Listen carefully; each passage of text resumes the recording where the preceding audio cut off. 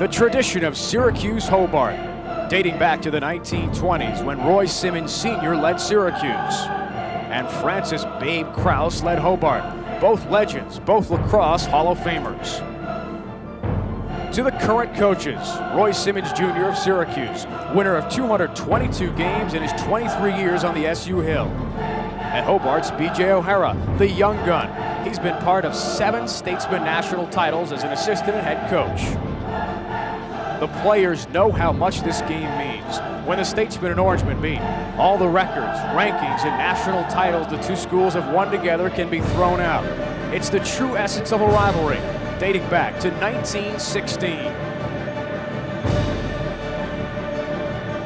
For the eighth straight year, the teams will play for the Kraus Simmons Trophy. It signifies the history of this great rivalry.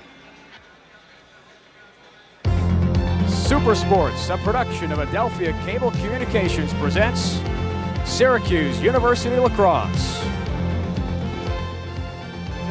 Hobart Statesmen with a 2 and 1 record visit the Syracuse University Orangemen from the Carrier Dome. Well, hi again, everybody, and welcome to the Carrier Dome on the campus of Syracuse University. This is Dave Ryan alongside my broadcast partner for tonight's game, Dale Dreipolcher. And Dale, when you talk essence of rivalry with these two teams, Syracuse and Hobart, there's not much more to say. This is just a great traditional rivalry. They used to have some great games. You know, people are talking about this rivalry ending, but last year was only 17-13, Dave. They've had some great games, but I, I think that it's possible that it may end. Uh, the chasm between Division Three and Division One is widening, and I think the fact that uh, Syracuse and the Division One teams have to schedule so many games makes it difficult, perhaps, for this, this great rivalry to continue. Keys to this game: Hobart, a very young team. They have 16 freshmen on their roster. It's going to be very difficult to compete with Syracuse, such a veteran team. Absolutely, and one of the things you know that uh, Coach Simmons does, Dave, is no matter who they've got, he always gets them psyched up for this game. He says, you know, a lot of them don't remember because his team they don't remember when they lost to Hobart, but he says he does, and he gets them psyched up, so they should be revved up for the game, despite the fact Hobart really not that an opponent that should really be feared perhaps as much as next week's Cornell team. We're looking forward to it very much. Division three against Division one from the Dome. Syracuse and Hobart coming up right after this.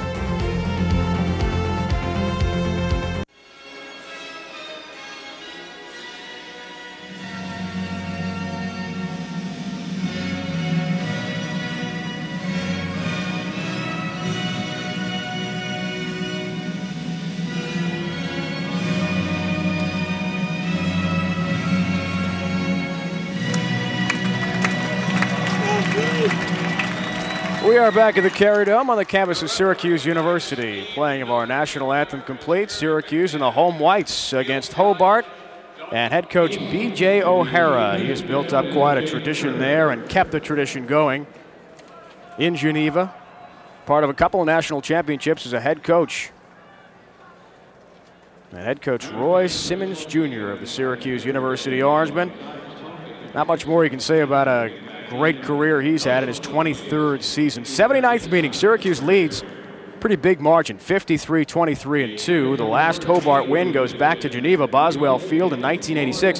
But as Dale, uh, as you mentioned in the opening, last year's game at Boswell was nip and tuck till the very end. It absolutely was. Uh, four goals separated them at the end. And uh, I'll tell you, people enjoyed that game last year. It was a super game to watch, a lot of good competition. So, you know, you never can tell, but that guy has been very hot, number two for Syracuse. One of the reasons why uh, he has really kept them in the games and uh, some very important games. This one uh, he will be up for, I guarantee. I don't know about everybody else, but Saran is Mr. Intense.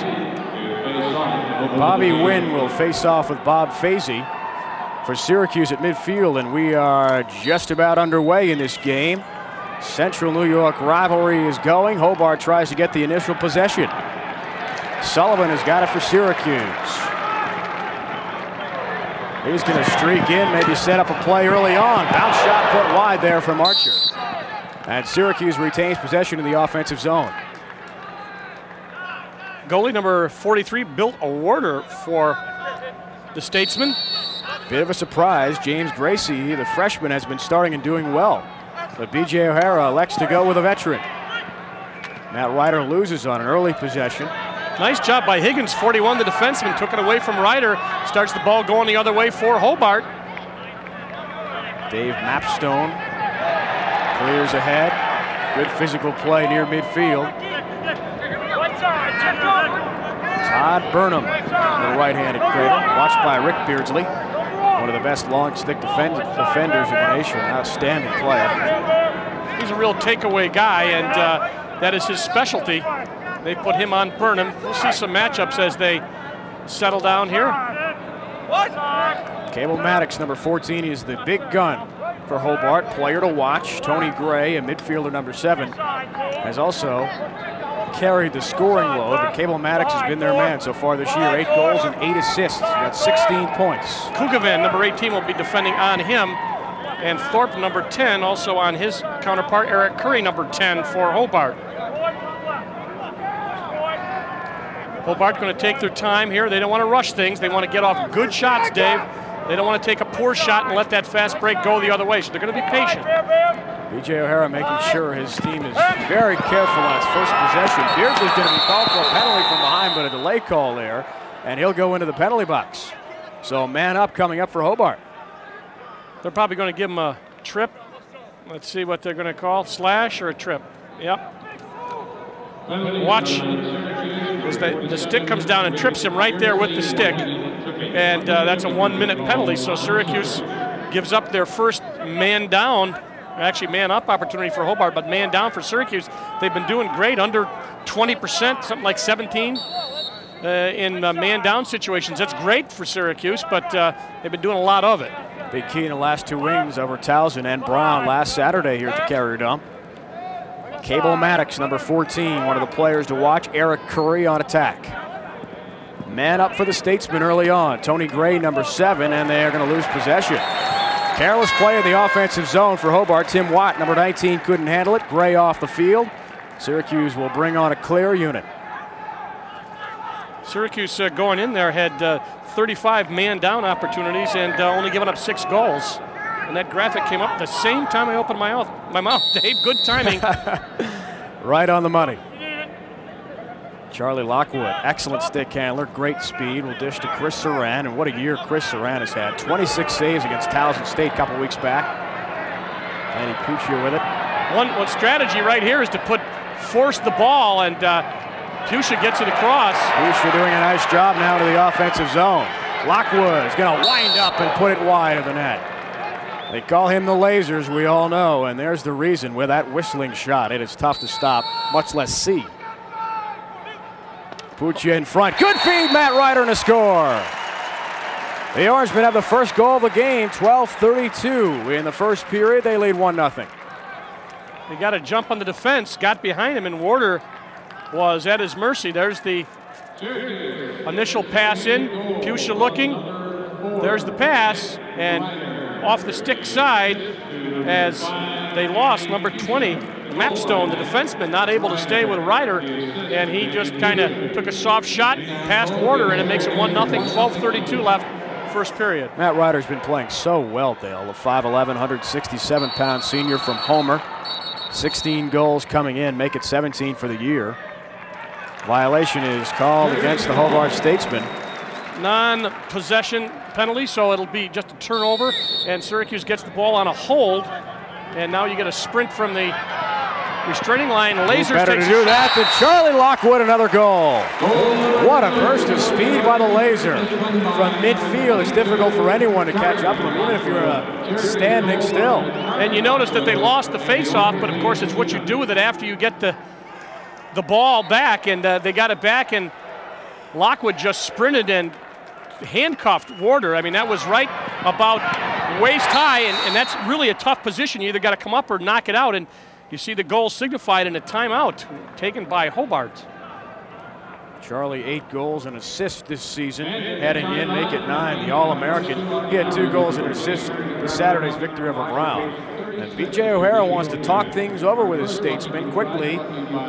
Down two zip. We're only a couple of moments into the first period. His team a little bit shell-shocked, perhaps, Dale. And B.J. wants to make sure that doesn't happen. I, I, think, you know, like in any sport, there's there are good timeouts, and that was a good one. You don't want to let that momentum get so far away, and uh, it really forces you to, to kind of refocus. And uh, next week we got another big game coming up with the Cornell Big Red, their coaching staff here. I saw them in the press box with uh, big, thick notebooks and pencils ready to, ready to take some notes. I'm sure they're going to get their uh, pads filled tonight. Scouting out the game. Cornell Schoellkopf Field has been host to a couple of games this year, including one played by Hobart early in the year because Boswell Field has simply been unplayable due to the poor weather conditions that we've had in central New York. And uh, Syracuse got a chance to look at Hobart last week because they came here and played in part of a doubleheader. So that's right. Uh, the, the, artificial surface getting a big play in Syracuse area, Central New York. Beat Ohio Wesleyan 13-12, a big game between Division three rivals. Bill Warder in goal. Syracuse so far dominating faceoffs early. Fazy and win, and Syracuse is going to win another one. Possession goes to the Orangemen. Uh, looks like a procedure violation, though, against the Orange. Dom Fin had the easy ground ball. Thorpe uh, came out of the defense of his goalie area there. The before possession was signaled, so they lose possession, and uh, Syracuse scrambles to get man on man as they usually play a, man on man defense. We may see some zone from Hobart tonight. Right now, as Syracuse is playing defense. Statesman hoping for their first shot of the game. Pat Kugerman, very physical defense, forces the ball to the top of the penalty penalty box, restraining box, and Hobart back in possession and control. Their first possession, we saw a very patient play. This is Todd Burnham with a right-handed cradle. Orangeman keeping everything outside so far around the perimeter of the Bucks. Cable Maddox, good roll dodge move, good feed inside, but it's going to be picked up by Syracuse. Pete Lingclip is in for Rick Beardsley, and uh, he started a fast break. He gets it back, and he will go across. Syracuse stays on sides, and Lingclip comes back as they get the ball behind, Dave. Good feed inside. Shot that put by Doyle, and an excellent save from Warder, who was right there to stop it. His first official save of the evening just got it, so Warder started it the other way, and Hobart, uh, they changed people. They're going to slow it down a bit, so Beardsley not back after that tripping penalty. Possibly build some confidence for him. Brett Leary, number 13, one of the players out there. He's from Cortland. Todd Burnham. Bounce pass is just tough to handle. And Leary comes up with it all right. Pass in front, good deflected defense. Doyle was there. Kugerman may have got a stick on that one as well. And Syracuse. the Orangemen will have a clear attempt. Yep, absolutely. And uh, Hobart has been putting some pressure on the clear. There, see there, you can't see now. You see Saran, but they got the wings covered. See right there. So they're going to make force the pass, and that you've only got 10 seconds to get the ball out of your zone, your defensive zone, and get it across now. And Thorpe helps out. They get to the midfield. Good feed. Roy Colsey will take it in. Tries to split a double team. Excellent stick handler as well. Steve Bettinger backing up. But that's going to be a turnover and Hobart takes over. 10.05 to go, first period. Orangemen with a flurry early on, scoring two quick goals with less than three minutes expired in the first quarter, but since then play has settled down a bit, and Hobart is continuing with a very patient pace. Patient, they have had one shot so far, but uh, they are putting good defensive pressure on Syracuse. They're doubling the ball a lot. Tim Watt with it into the offensive zone, number 19.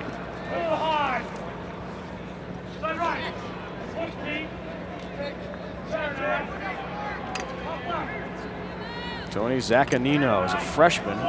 Got four goals this year. Number six, he's a dangerous player to watch as well. That pass goes right through the crease. And a turnover to the Orangemen. A classic look there as they looked for the crease, but uh, they checked the stick. The ball went wide, and uh, they're going to lose possession. Let's watch Hobart here. Maybe get a little wider camera angle. We'll get a look and see what they're doing on the clear against Syracuse. Well, they backed off a little bit. Now there's a race down the sideline. Mark Fietta with it, number nine, with a right-handed cradle. Pina, good job, 22. See him going after the ball. See the orange? There's always seems to be two orange guys. There. Syracuse gets it out. They've played aggressively so far, Dale. Very much so. Bettinger on the end line. That may have crossed it, and procedure violation is going to be called against Syracuse. Turnover to Hobart. So fairly solid defensive efforts now, three in a row by the Statesmen who thwart the SU attack. I think that's the, you know, the name of the game. You, have got your offense, but I think you can do some things defensively with intensity and really put a lot of people and try to double the ball, and that nice clear for Hobart. Well, they got a jump. Tim Watt with it. In front, good chance. That was deflected before he even got there. Absolutely right. Thorpe should get the save on that. He got his body in front. Saran didn't have to do anything except say thank you very much, Reggie. Zaganino got off a nice whistler. But Thorpe, the tri-captain from JE, comes from Elbridge. Cable Maddox with a right-handed cradle. They were kind of isolating him one-on-one on, -one on Kugavan. from behind. Pat Kugavan, really a nice defensive play. He's been all over him so far. Absolutely. Good move by Smith to bring it into the offensive zone for the Orange with a long stick. And he's going to help set things up before he retreats. They can bring another short stick on the field. A little thing in perspective there, Maddox is 160 and uh, he was playing against a Kugavan 213. Oh, Riter hit from behind, no whistle. Fans wanted one. No call against the Hobart defense. O'Connor 40 was the guy who got away with it. Casey Donegan digs out for the Orange. He's got a little break here. Riter diving right on the in the crease. Step there, but a crease violation is going to be called against Matt Riter, who dives ahead. Try to Air Gait there. Try to try to Gary Gait special. Watch. Watch him take right. off right, right there. Oh no, that's not the problem. The problem is the save is great, but he ends up in the crease. But Warder did a nice job. Uh, apparently was either suspecting that or was guarding very, very well because he made the save and of course got carried into the crease. So Syracuse loses possession. Ball ended up right on the Hobart doorstep. Their goal. Statesman out of the offensive zone. 2-0 game, heading to the 7.30 mark of the first quarter. Cable Maddox with it. Tim Watt. And the Statesman on a switch. I mentioned Kugavan, 6 foot 213, while Maddox is 5'8", 160.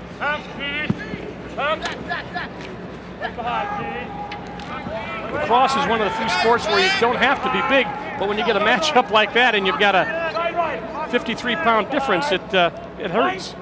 It is a disadvantage. Maddox, outstanding player, very quick, but when you're talking about that big of a weight differential, yeah. not a lot you can do, and the Statesman may have thrown it away. We'll see what kind of midfield play they can get as they That's off. That should be Hobart. Yeah. Yeah, that's going to be offsides, and uh, Syracuse will get it. Nice push. When you get up on that line, you can't get your foot over, but you can push somebody over legally. If they go over, it's still offsides, and that's exactly what Syracuse did. And Lockwood starts from out on top.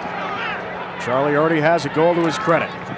Working inside. Good feed. Donovan. Donegan gets that shot off, and it bounces behind the net. Pusha, good hustle, gets there and uh, saves the ball. Syracuse gets another opportunity. Bill Warder, goaltender, able to avoid that Syracuse rush. Here's Barr, top of the box. Going to get a shot off and a score. The midfielder, John Barr, in his second game back from the suspension, played well Saturday against Browndale. In his return, he had a couple of weeks off there, and obviously his game has not been affected too poorly. Watch how quick he gets the ball off just sidearm shot and he just blisters the net. That's a real hard shot. You see it again. They're doubling the ball and they couldn't get on his stick. Six and a half left now, first period. Syracuse leads 3 0 over Hobart. Statesmen are doing all they can to slow down the pace of this game and not get into a track meet with the Orange, but that's the last thing Coach O'Hara wants to see. We're going to get a hold call here, and that'll be against Hobart and uh, Coach, Coach O'Hara. O'Hara. Yeah, he's a. You could. That picture says it all. but you're right, Dave. He does not want to have that going up and down. But he is. Uh, he is doing good things. Well, let's see. This could be Hobart ball. It will be. Good hustle on the end line. Statesman defense. So they're going to get the ball back. Mike Higgins running that one down, number yep. 41.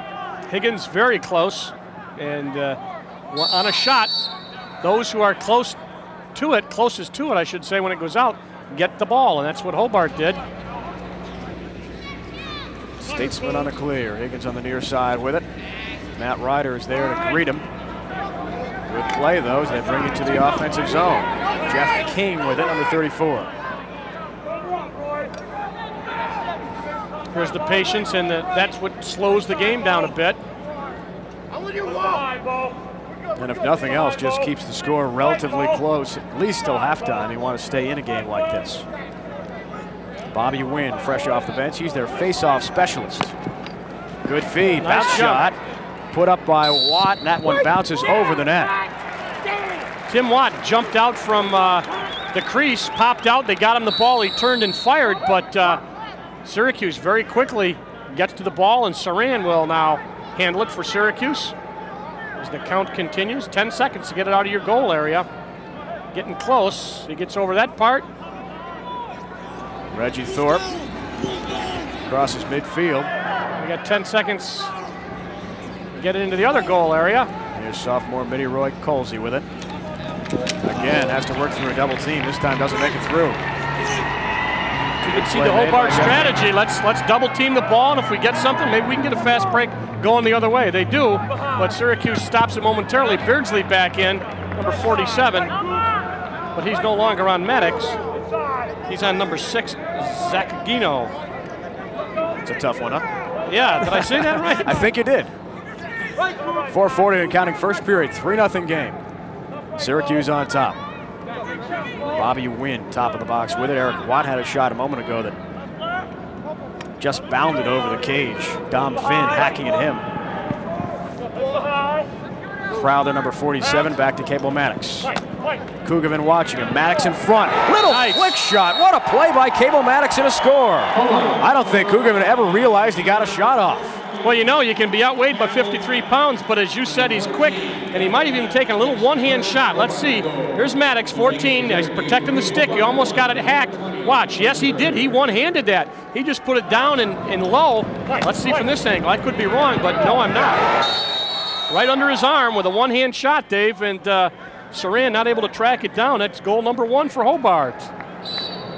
He is 9 and 8 this year, as we mentioned earlier in the broadcast. Number one in scoring both departments for the Statesman this year. Hobart's having some problems on uh, on face-offs with some penalties. Let's see if we. Paul Sullivan with it.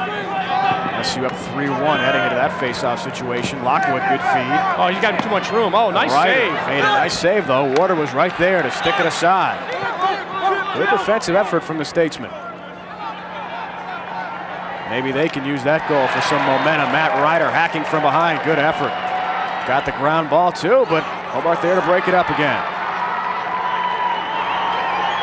They get the ball back. James Martin, good work with a long stick, number 28.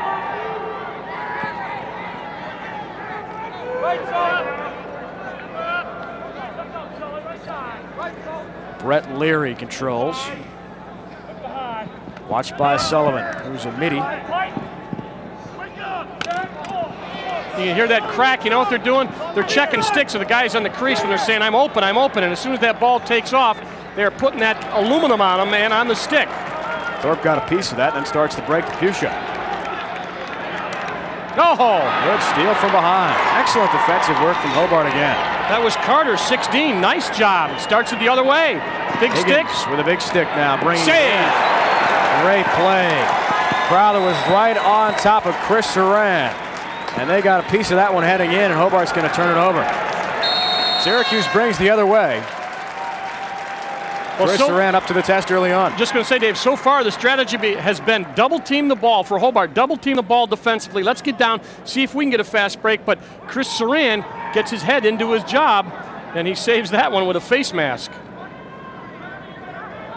Ball just going to be whistled in, and you see Syracuse Chris Saran as they get the ball across. Barr has it, and they start their own fast break. Lockwood top of the box. Man, is he quick. Gets right by his man.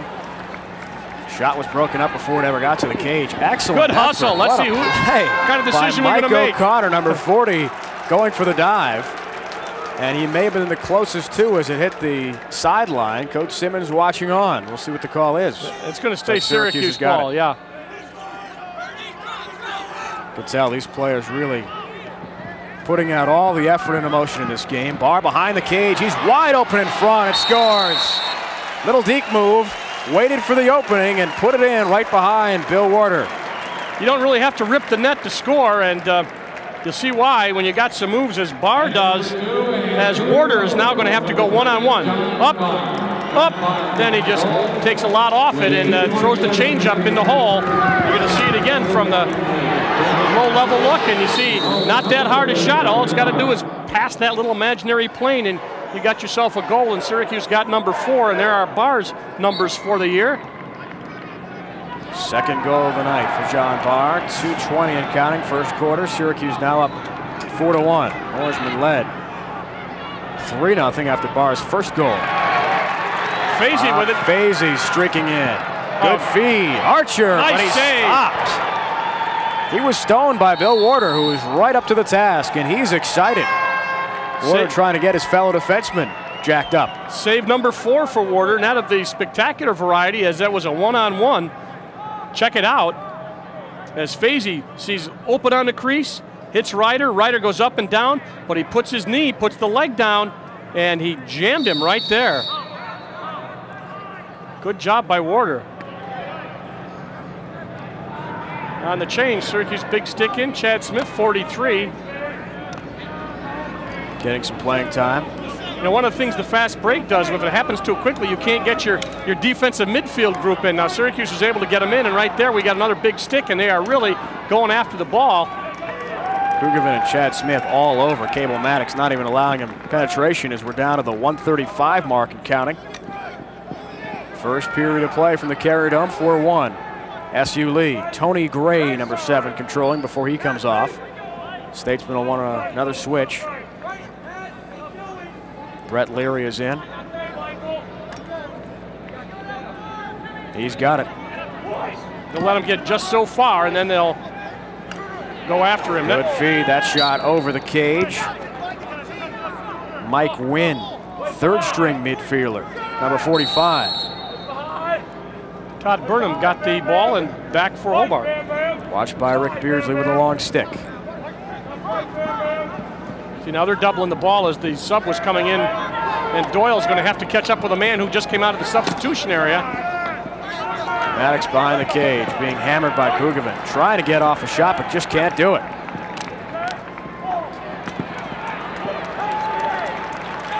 Excellent SU defense, and Smith comes away with it. Reggie Thorpe lost it for a moment, trying to hit someone, and he just hit some air.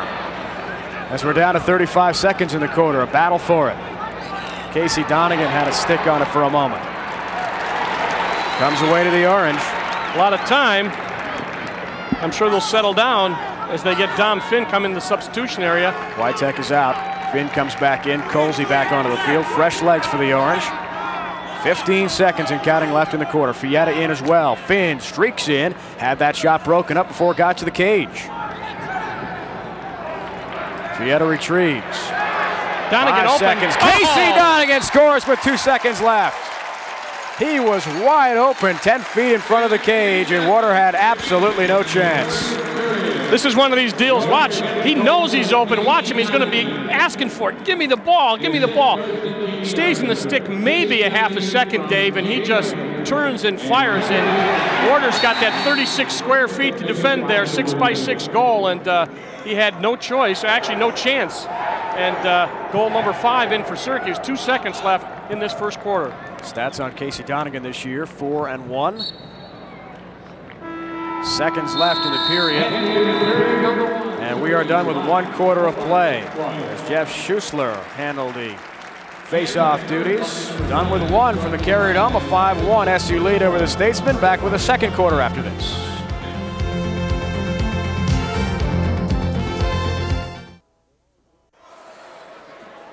Back at the Carrier Dome, beginning of the second quarter, a 5-1 Syracuse lead over Hobart. Goals so far for the Orange. Matt Riter scored one. Charlie Lockwood unassisted. John Barr a couple. Cable Maddox one for Hobart, and Casey Donegan with only two seconds to go. Kind of really hurts the spirits of a team like Hobart Dale. Just moments to go in the quarter, and you give up a really an easy goal like that.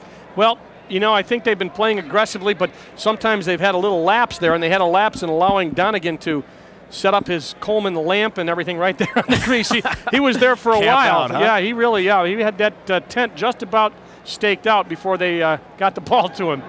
John Barr, senior from Fairport, New York, just outside Rochester, showing little ill effect of his suspension. Violation of team rules, but now he is back and obviously a major contributor to the Orangemen.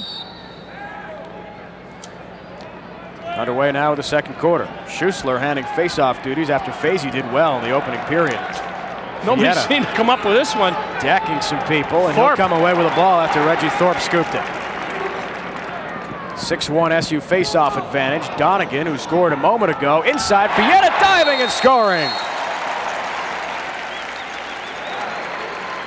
Mark Fietta's first goal of the night. And the Orange have a 6-1 lead. Another guy from Elbridge. You know, you look at these schools, Jordan Elbridge, Reggie Thorpe, and Fietta, both from Jordan Elbridge. The little school never used to have a lot of representation, but watch what this guy does. That's just a real nice shot by Fietta. That was real pretty, and you're going to get another look at it. It gets the ball back after Donegan can't get it in the air and uh, paid the price, but made the shot and got the goal. Again, little chance for Hobart goalie Bill Warder. Marked 3-0 on the season, three points. Fuchsia comes away with that the, momentarily. See, see all the, I'm just going to say, see all the orange jerseys there on the ball. They're getting it back. Now Beardsley's got it. He may take it up. Tries an AstroTurf pass. Fuchsia trying to regain possession. Reggie oh. Thorpe just lost. A little uh, lack of communication yeah. between John Barr and Reggie Thorpe. You could see him say, yep, I didn't know yours. you were going to take it. yeah, right. So uh, Syracuse loses possession. Hobart brings it in. Hans Schmidt out there. First time he's seen some action. Big stick midfielder with the little brace on the knee. He's on Win 25 as Win gets rid of it. Michael Doyle out there as well for Syracuse. Kugavin, Beardsley, and Thorpe. The first team long sticker out there also. That shot a little bit wide of the net from Bobby Wynn. So turnover to the Orange. SU will try to clear it out. They get an opportunity to get their short and defensive stick, big stick off. And Saran's going to take it up. Look at them collapse on the ball. See, watch these guys collapse. They are going after the ball, trying to force a bad pass. They are very aggressive defensively. John Barr, a little give and go with Lockwood streaking in. Excellent feed inside. Casey Donegan, another goal. You know, if we can see this from the top, you can see a couple of things what they did, they made a nice fake. It's an old Gait Brothers trick when they used to use a hidden ball, but you can watch what they fake a little move here. Watch. Watch Pina, 22. Now he stays because he thinks the guy in the right's got the ball, but he does, but he gives it right back. They found themselves outnumbered. He makes the cross cage feed, and there's the score. But what happened was he got frozen in between, wasn't sure who had the ball, left his man open, and when he made the break, he was able to get the ball, then make the pass to Donegan. His second goal, 7-1 game, 13-35 and counting. Second quarter, Paul Sullivan. He had a lot of time when John Barr was out with a suspension. Played very well. Streaking in, going to get a shot off on the run, a little bit wide. 8-1 SU face-off advantage, a big key. Hobart just can't get a possession. Last week, you know, uh, he started a, a, great fast break for Syracuse. I'll talk about it in a second. We'll go right back to the live action. Fuchsia, top of the box. Donegan been lighting it up. Already a couple of goals for him in this game. End of the first period, scored moments ago. Been a vital part of the SU offensive effort in this game so far. One guy we haven't seen involved a whole lot has been Archer, which is a bit of a surprise considering all the points he's amassed this season. He's the quarterback usually, yeah. and we, I just checked him. He is he is behind behind the cage, but Hobart's going to try to get. It may go out of bounds. It will.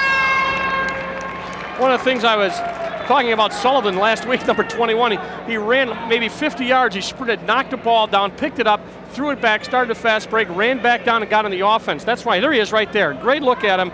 It's just a game where you have to be able to sprint and sprint and sprint.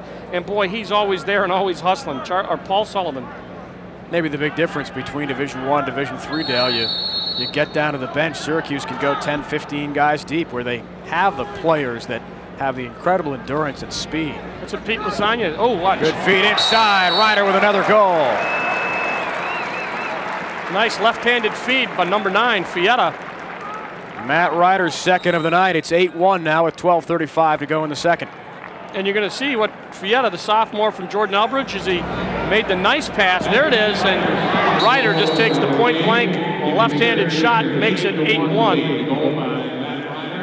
Matt Riter has the last SU goal, scored the first of the night back with 12.32 to go in the first quarter. Timeout for Hobart. Statesmen want to stop the clock and talk it over. And again, coming up on Super Sports, check your local listings for time of the Cornell-Syracuse game, another great traditional Central New York lacrosse rivalry.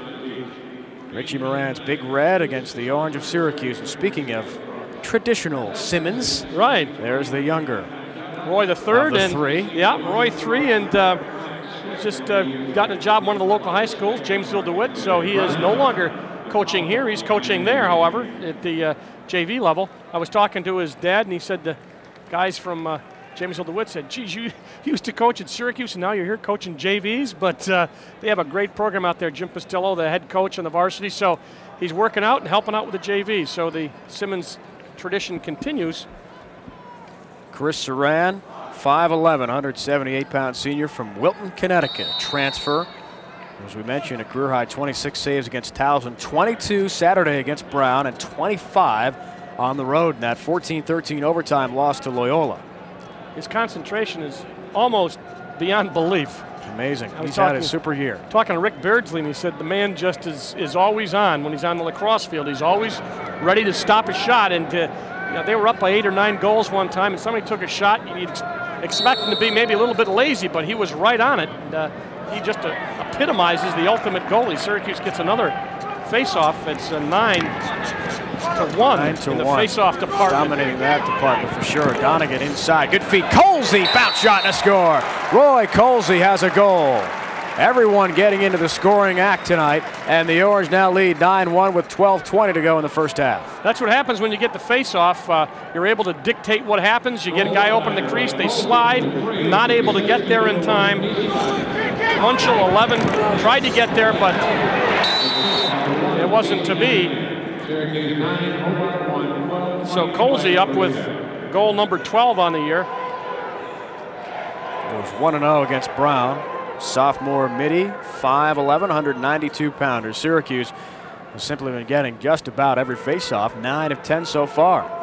Schussler's done a nice job. Fazy did well in the first quarter. Schussler's taken the last four faceoffs.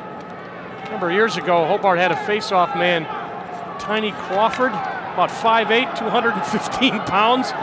He, uh, he hurt him up there one year, but uh, they're not getting any face-offs today, and uh, they will get this call, however, off a Syracuse stick, and uh, Hobart will get possession as uh, Fotopoulos not able to keep the ball in, number 27, and uh, you're going to see a lot of new people out there, Dave. Chance for Coach Simmons to substitute with a big pad now, the eight goal lead. Hobart has got it. One goal tonight, Cable Maddox scored in the first period. At that time, made it a 3-1 game. But SU has reeled off six consecutive. Tim Watt with it. We haven't mentioned these names much because Hobart simply hasn't had the ball in the offensive zone a whole lot. Here's Maddox on the far side. He's being shadowed by Kugavin all night long. Tim Watt, You Tony see, Gray. see all the breaks there, Dave, and you see all the white shirts right on top of the orange. That's the whole idea. And of course, you know, they're passing around the perimeter, but that's what you're waiting for. The ball's down. If you're Syracuse, you're after it. If you're Hobart, you say, okay, now maybe I can get a fast break. Mike Doyle nearly came up with it at midfield, Dale. Good pass in low. Penalty flag dropped on the far side. Slow whistle penalty, and looks like SU's going to be whistled. Official Steve Miller is going to call the slash. So Syracuse be down a man for a minute. And this is the second man-up opportunity, which is good for Syracuse. They, some games they've been on a five, six penalty pace at this time, but there's the uh, there's the slash. Doyle got a piece of the helmet on the way by, and there he is in the penalty box. Yep. He'll serve a minute. Statesman with another man-up opportunity. Todd Burnham triggers play. Cable Maddox with it. The idea, of course, if you're Syracuse, is to fill in all the passing lanes with your stick because you're down a body. You got to fill them up with your stick and shuffle and pick up men and hope that that happens right there, that they lose the ball, and they do. But now Syracuse will have the ball doubled because uh, they're going to have to clear it, and there's still a man down. Lockwood back on as the Orangemen change. Fresh legs in the field as they'll try to clear it out. Easily done by Thorpe. This ought to release right now. The release. Oh, I heard a whistle before they, they got there. Let's see what the offside is. offside call against yeah, Syracuse. got to have four guys in uh, your defensive area. Thorpe took a sightseeing tour, but uh, usually another midfielder will go back and stand and, and, and keep the fourth man. But uh, they lost it, and uh, he got it all the way to the box. But they're still down a man. They ran some time off the clock. Todd Burnham jogs it into the offensive zone. Watt, right-handed cradle. Eric Curry to Maddox. First line, middies and attackmen on the field for Hobart trying to get back into the game, whatever they can do. Maddox simply has not been free. Burnham never got there. Chad Smith hammering him on the far side, but a flag's be thrown and another penalty coming up against Syracuse. Boy, Smith, very physical play against Maddox and against Burnham on the far side. Burnham went right down. He went directly down, and uh, this is Chad Smith. He's a transfer from Army, and he actually cross-checked him there. Uh, you can't do that, right? You can't. If you had both hands down, and you know the knockdown isn't anything because there's body contact in lacrosse, but you can't do it with your stick. If he had both his hands together and lambasted him, then that would have been okay. As it stands, it's a penalty, and I'm not sure was the other one released or not. Let me count: one, two, three, four, five, six. They are down one man. Must have gotten the other one released. Just down one. Hobart 0 for 2 so far. They're man ups. Trying desperately to get back in the game. Maddox, good feed inside, but it was broken up as he tried to get it to Zaccanino. Beardsley did a nice job of checking the stick of Zaccanino. Nice hit. Doyle, who just was penalized moments ago for going to the helmet, gets knocked down himself. Here's Beardsley. He'll take a shot. Oh, he'd love to. Yeah. Scored oh, the loses the game. ball. There's not much more that brings the crowd to its feet than a defenseman with a long stick or a defensive midi or a goalie, especially That's right, scoring. goalie. goalie, they run out there and the defenseman, you know, they're pasting bullseyes on him when he gets out. Oh, they get a break on the goal. Nice. Going in there, and that shot just deflected wide. Tony Gray had a break toward Chris Saran. Oh, they're going to call a push. And a push against SU. Yeah, they thought that uh, he might be in there, but uh, you, you can push him legally into the crease, and you're going to watch Tom Gray. There's the shot, there's the push. It was from behind. That was a good call. That was a good call. Now they're counting people to make sure everybody's in, and uh, Syracuse, I think, even strength man-to-man defense. On the attack. Curry. Cable Maddox. 9.09 and counting left in the first Oh. period. Another slow whistle's coming up against Syracuse again. Physical play in the crease. Beardsley's going to be down. Yeah. Beardsley's going to give him a go hold. down again. Oh, and after the whistle, we're going to get another penalty as Reggie Thorpe cross-checked a Hobart player, and it's going to take a while, Dale, to sort this one out. All right, I'll tell you what it's going to be. be a mess. It's going to be Beardsley on a hold for 30 seconds. It's going to be Thorpe with unnecessary roughness for a minute. I'm guessing. Let's see. We'll watch it from here. There's Kugavan. All right, that's okay. That's okay. Still pushing. Now the ball's down. There's the behind the back shot. Well, that's the shot right there that's going to cost you. Let's see what we get. Let's White listen. has got interference, technical, 30 seconds. Well, that was the hold I said. White has got one minute for a. Okay. Same thing. It's a minute and a half. They could have called a hold. They could have called unnecessary. It all amounts to the same thing. Syracuse is down two men, and at least for 30 seconds, unless they can get the ball down on the other end and release them. So now they really have to box it up. You gotta, you gotta have a box, four guys out in front of the goalie, and they slide from point to point on the box with the sticks up to try to prevent a shot. If you can stop somebody when you're two men down, you should get uh, a medal. That's uh, Burnham Smith. offensive end. defensively for Syracuse with a big stick. Hans Schmidt, 44. Two men down. See if Syracuse can get by this one. Watt winds and scores from the top of the box.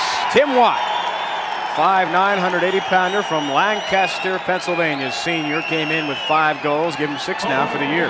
Watch what the bodies do as they really open up. When he turns to fire, there's a lane in there because there just aren't enough. There's two guys that should be in there, and, and you're not going to have them, and you see the net rip. Watch it from this angle, you get a better idea of what I mean. See that? See how clear that was? And uh, Saran, again, very difficult. People say, well, gee, he saw him. Why couldn't he stop it? You get a ball going that fast, it's like a little pill going in there, and uh, Saran tried to get it, but could not. Syracuse going to take a timeout. Settle themselves down after two-man down situation. 8.28 to go in the first half. 9-2 SU on top. Seven-goal cushion. Tim Watt's goal, the two-man up with 8.28 to go, is the first since Cable Maddox scored back in the first quarter. Any comments, questions about our programming here at Super Sports, please write us. Care of Adelphia Cable, 500 South Salina, downtown. Syracuse, New York, 13202 is the zip. Young fans enjoying this one. Future SU star, maybe a Hobart star. That's could right, Be from could Geneva, be. That's right. West of, of the city, it's possible. Got the mouthpiece already. Oh, I know that. I knew she'd take it out of Take there. it out of You're there. on TV. Give me that thing. Cute little guy. Great face. Yep. Start them early here. And Syracuse has taken that timeout. They had, you know, four different guys were down.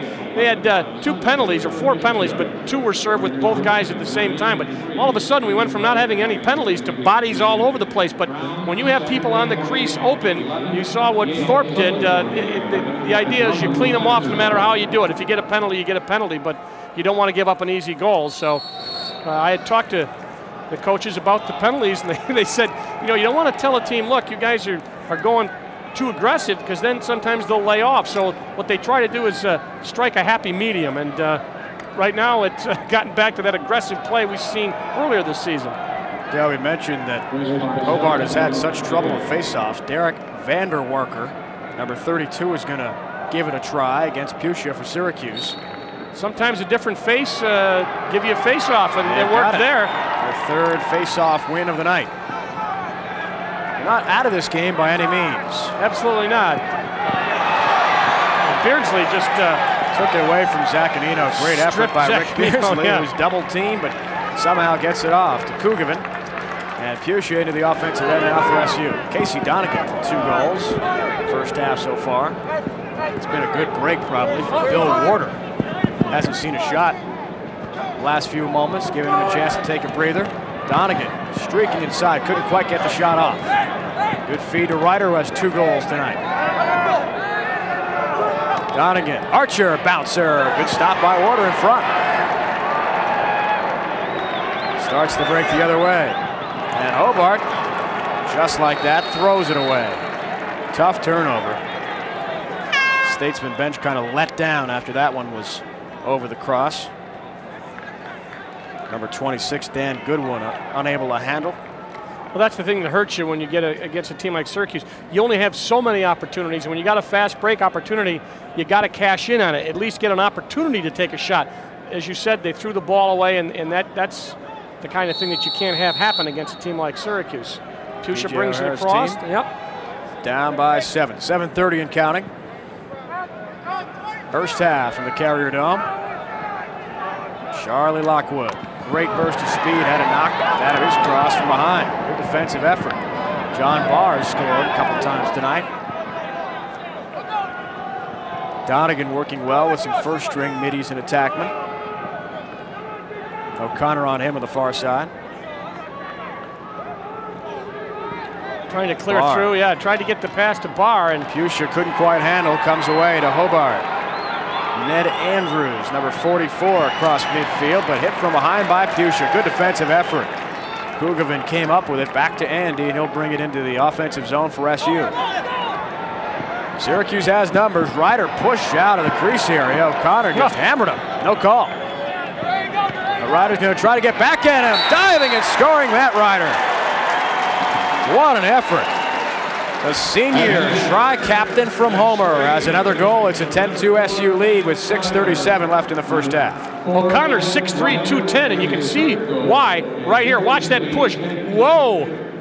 You know, that's like a sailor trying to find the gangplank after Liberty there. He really had him going. But then he just comes back, takes him inside. He takes a little bit of a nudge on the head, and uh, that's the best way to answer.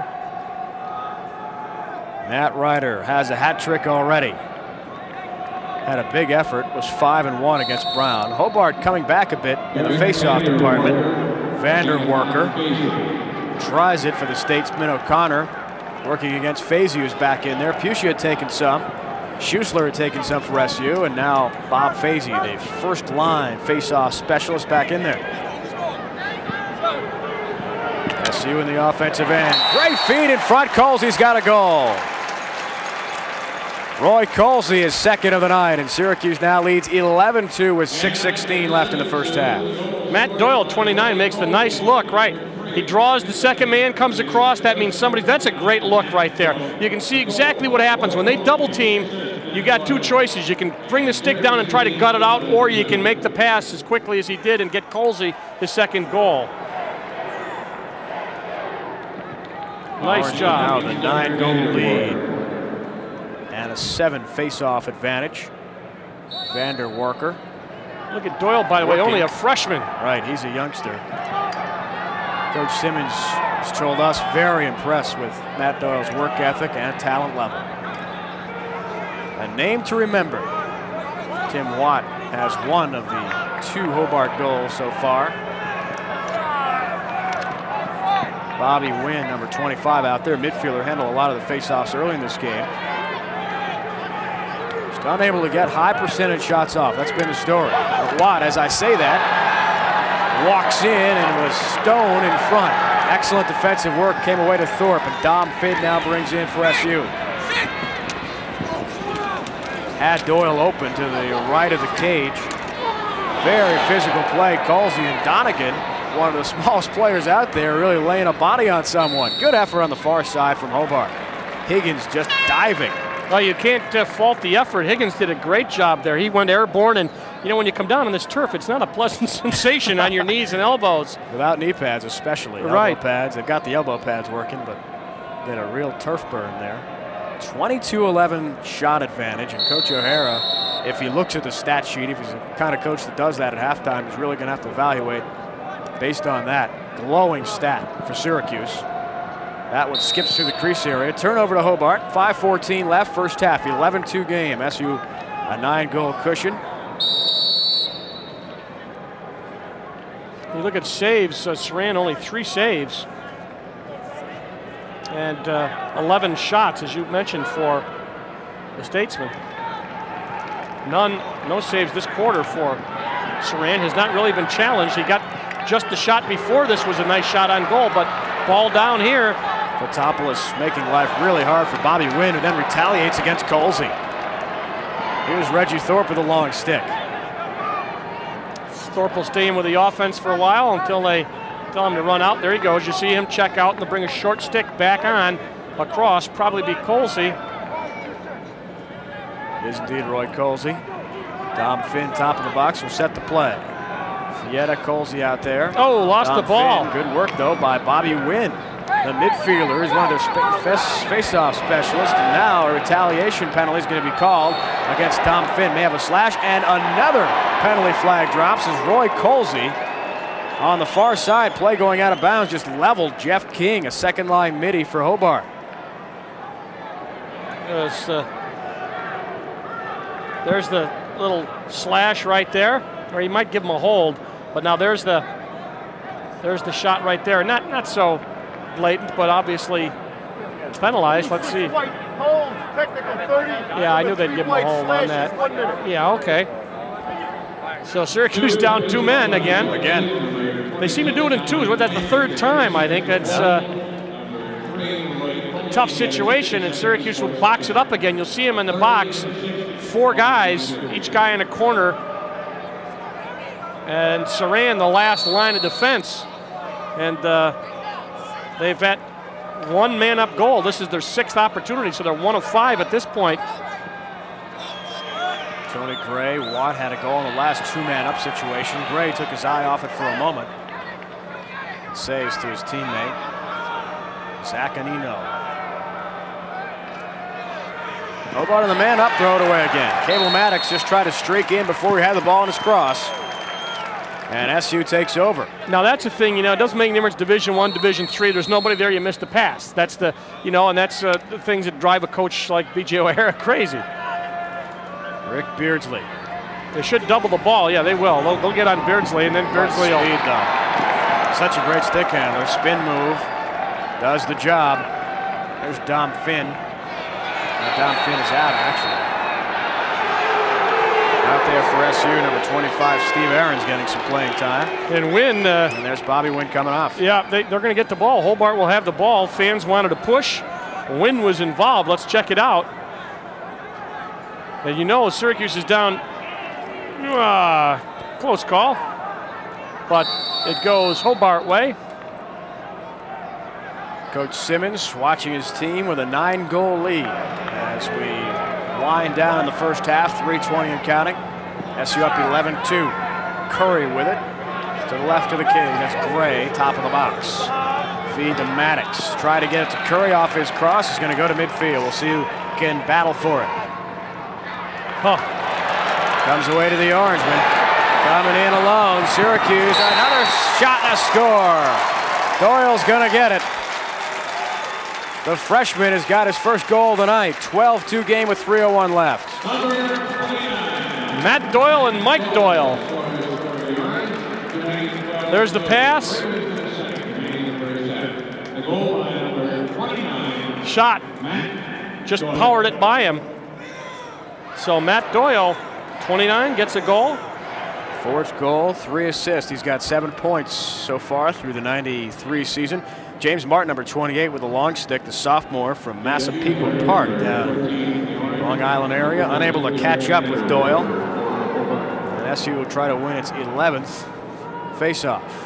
Seven man-up opportunities for Hobart, none for Syracuse at this point. I'm sure that doesn't surprise you, Dave. That's what happens with very physical play. That's been a trademark of Syracuse this year. I think more so than the years past. Very aggressive. Ahrens had to go right off his cross. That's going to go out of bounds, and Hobart will get it with 2:45 to go in the first half.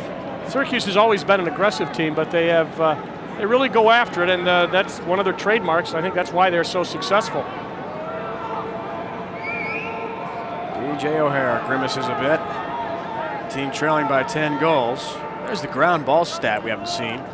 27-22, pretty even. A lot of loose balls. Yeah, Not a lot sometimes misleading statistic, and there's a misleading. Uh, that's a pass. he really misled him on that. Misled everyone on that one. Yeah. And BJ's reaction, Right. saying, "What in the world was that?" Again, not a not a Division three, Division one, just a poor pass. You know, they make them at all levels, and uh, those are the things that you know. Hey, look, if we get beat by somebody because he's faster or better, that's one thing. But when you just throw the ball, but BJ's talking to him, and uh, you notice his tact is uh, very very low key, and they will be contending. You can bet for the Division three national championship. You're going to get a look at this from the end zone.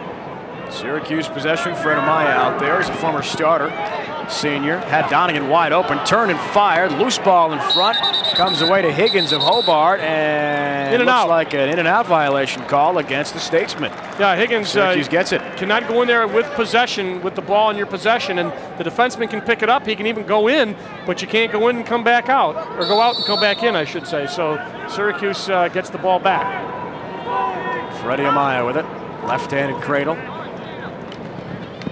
Jim Morrissey out there getting some playing time. Roy Simmons using a lot of bodies. We're in a midweek game, so wants to make sure it keeps everyone fresh for Saturday's game against Cornell. And they're doubling the ball and putting the pressure on. Nice job by Hobart. Higgins closest to it on the far side. Good effort by Paul Sullivan who's trying to climb over him and get to it. Here comes Paul off the field.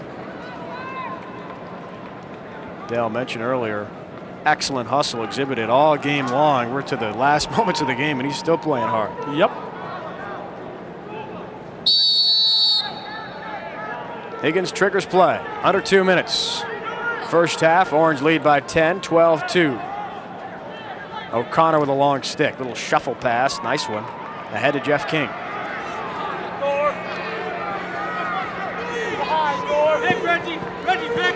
They hear him saying pick Reggie. They were trying to pick off Reggie Thorpe, and uh, he went right through with it. It's man to man. You see all those orange jerseys and a white one right with it. That's the Cable Maddox being hounded by Kugovin. King got a shot off, but Saran gets a piece on the way. Saran to Beardsley. Syracuse breaks out. Saran going out with him for a few steps to make sure it's cleared out of the defensive zone. Heading down to the one minute mark, first half. Nice job there getting somebody on sides and bringing in. Toby Price out there Yeah, now. just to Matt look at Doyle. Toby Price. So all kinds of guys getting playing time in this game. Also out for the first time, Nick Licamelli, senior from West Genesee High School, 37. He tried to feed in front. Donegan, only five foot seven. If he had been a six footer, he probably would have come up with it. Had to go up the ladder. Right. There's Nick Licamelli coming off from Camillus. Five lousy inches, right? Hobart a chance for a final rush and maybe a goal, get some momentum heading into the second half. They could use it. Good anticipation defense. O'Connor trying to come up with it. Good stick work in his defensive zone. Here comes Tony Gray. Statesman trying to make it happen down the stretch.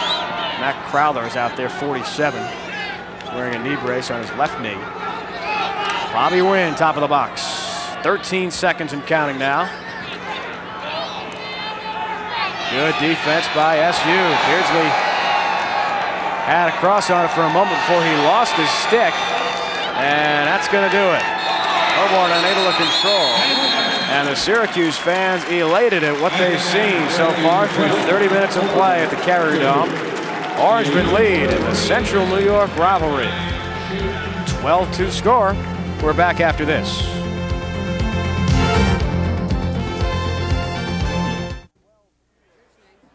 Syracuse up 12-2 over Hobart. The Orangemen dominating in this game. They've gotten goals from just about everyone. Fietta has done well. Matt Riter has a couple of goals. He's got three. Colsey two. And even Casey Donegan has chipped in with a couple. 12-2 halftime score. We're back with more right after this from the Carrier Dome.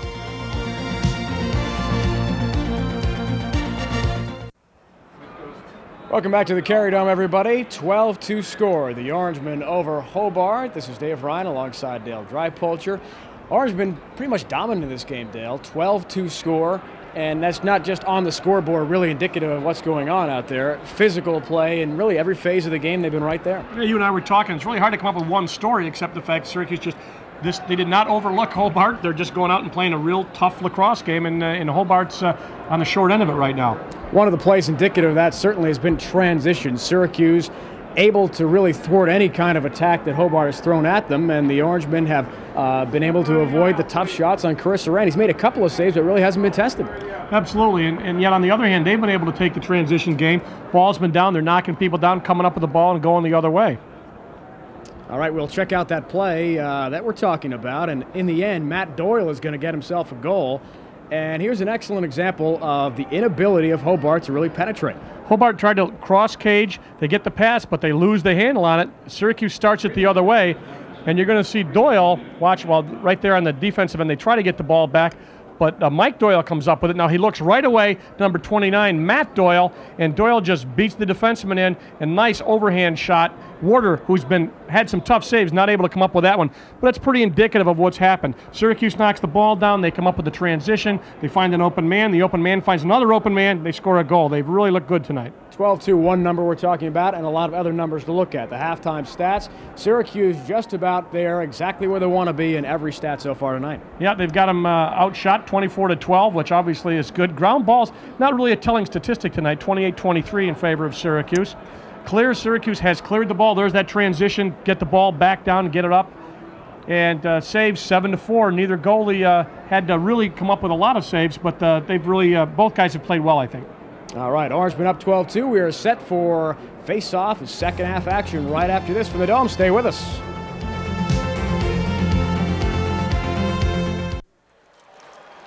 Syracuse with a 10-goal lead as we are just about set to start period number three. The Orangemen over Hobart. And a good crowd on hand tonight, always dating back to the years when this rivalry just started. Excellent crowds. You have the folks coming from Geneva, east of Syracuse, about an hour drive or so, and enjoying perfect conditions inside the dome tonight. Aren't they always? And the fans, well behaved. they've had some great. They've had some great uh, rivalry. That uh, up at Hobart, they've had some good things. A little movement there. That's going to cost a face-off. Syracuse should get that. Pusha. Pusha and Bobby Wynn battling. He'll take it. Are they going to? Yeah, there you go. SU starts off. Speaking of rowdy crowds, last year at Geneva, Boswell Field was quite a wild display of crowd reaction. Syracuse came away with a four-goal win, a lot of mud. Bettinger driving, nearly got an excellent shot off there, wide of the cage. You want to point out that Jim Gracie, new goaltender, is in there. He's yep. logged 130 minutes, allowed 30 goals, and saved 41 so far. And there's a look at Jim, number 31. Sophomore, 5'8", 240 they list him at. That's a, that's a good sized goalie. He fills up a little more of that 36 square feet than Warder did. Warder started off well, but it's awfully tough. His defense just couldn't hold. Yeah, you don't want to leave him. potent attack. You don't want to leave him in there and let him let him take abuse for another half. And uh, physical play in front, and a violation is going to be called against Syracuse. Turnover to Hobart. I think it was a pick. Let's see what happens. Ball down, and uh, there's, oh, there's a push. Just a push. just that's a good definition of a push.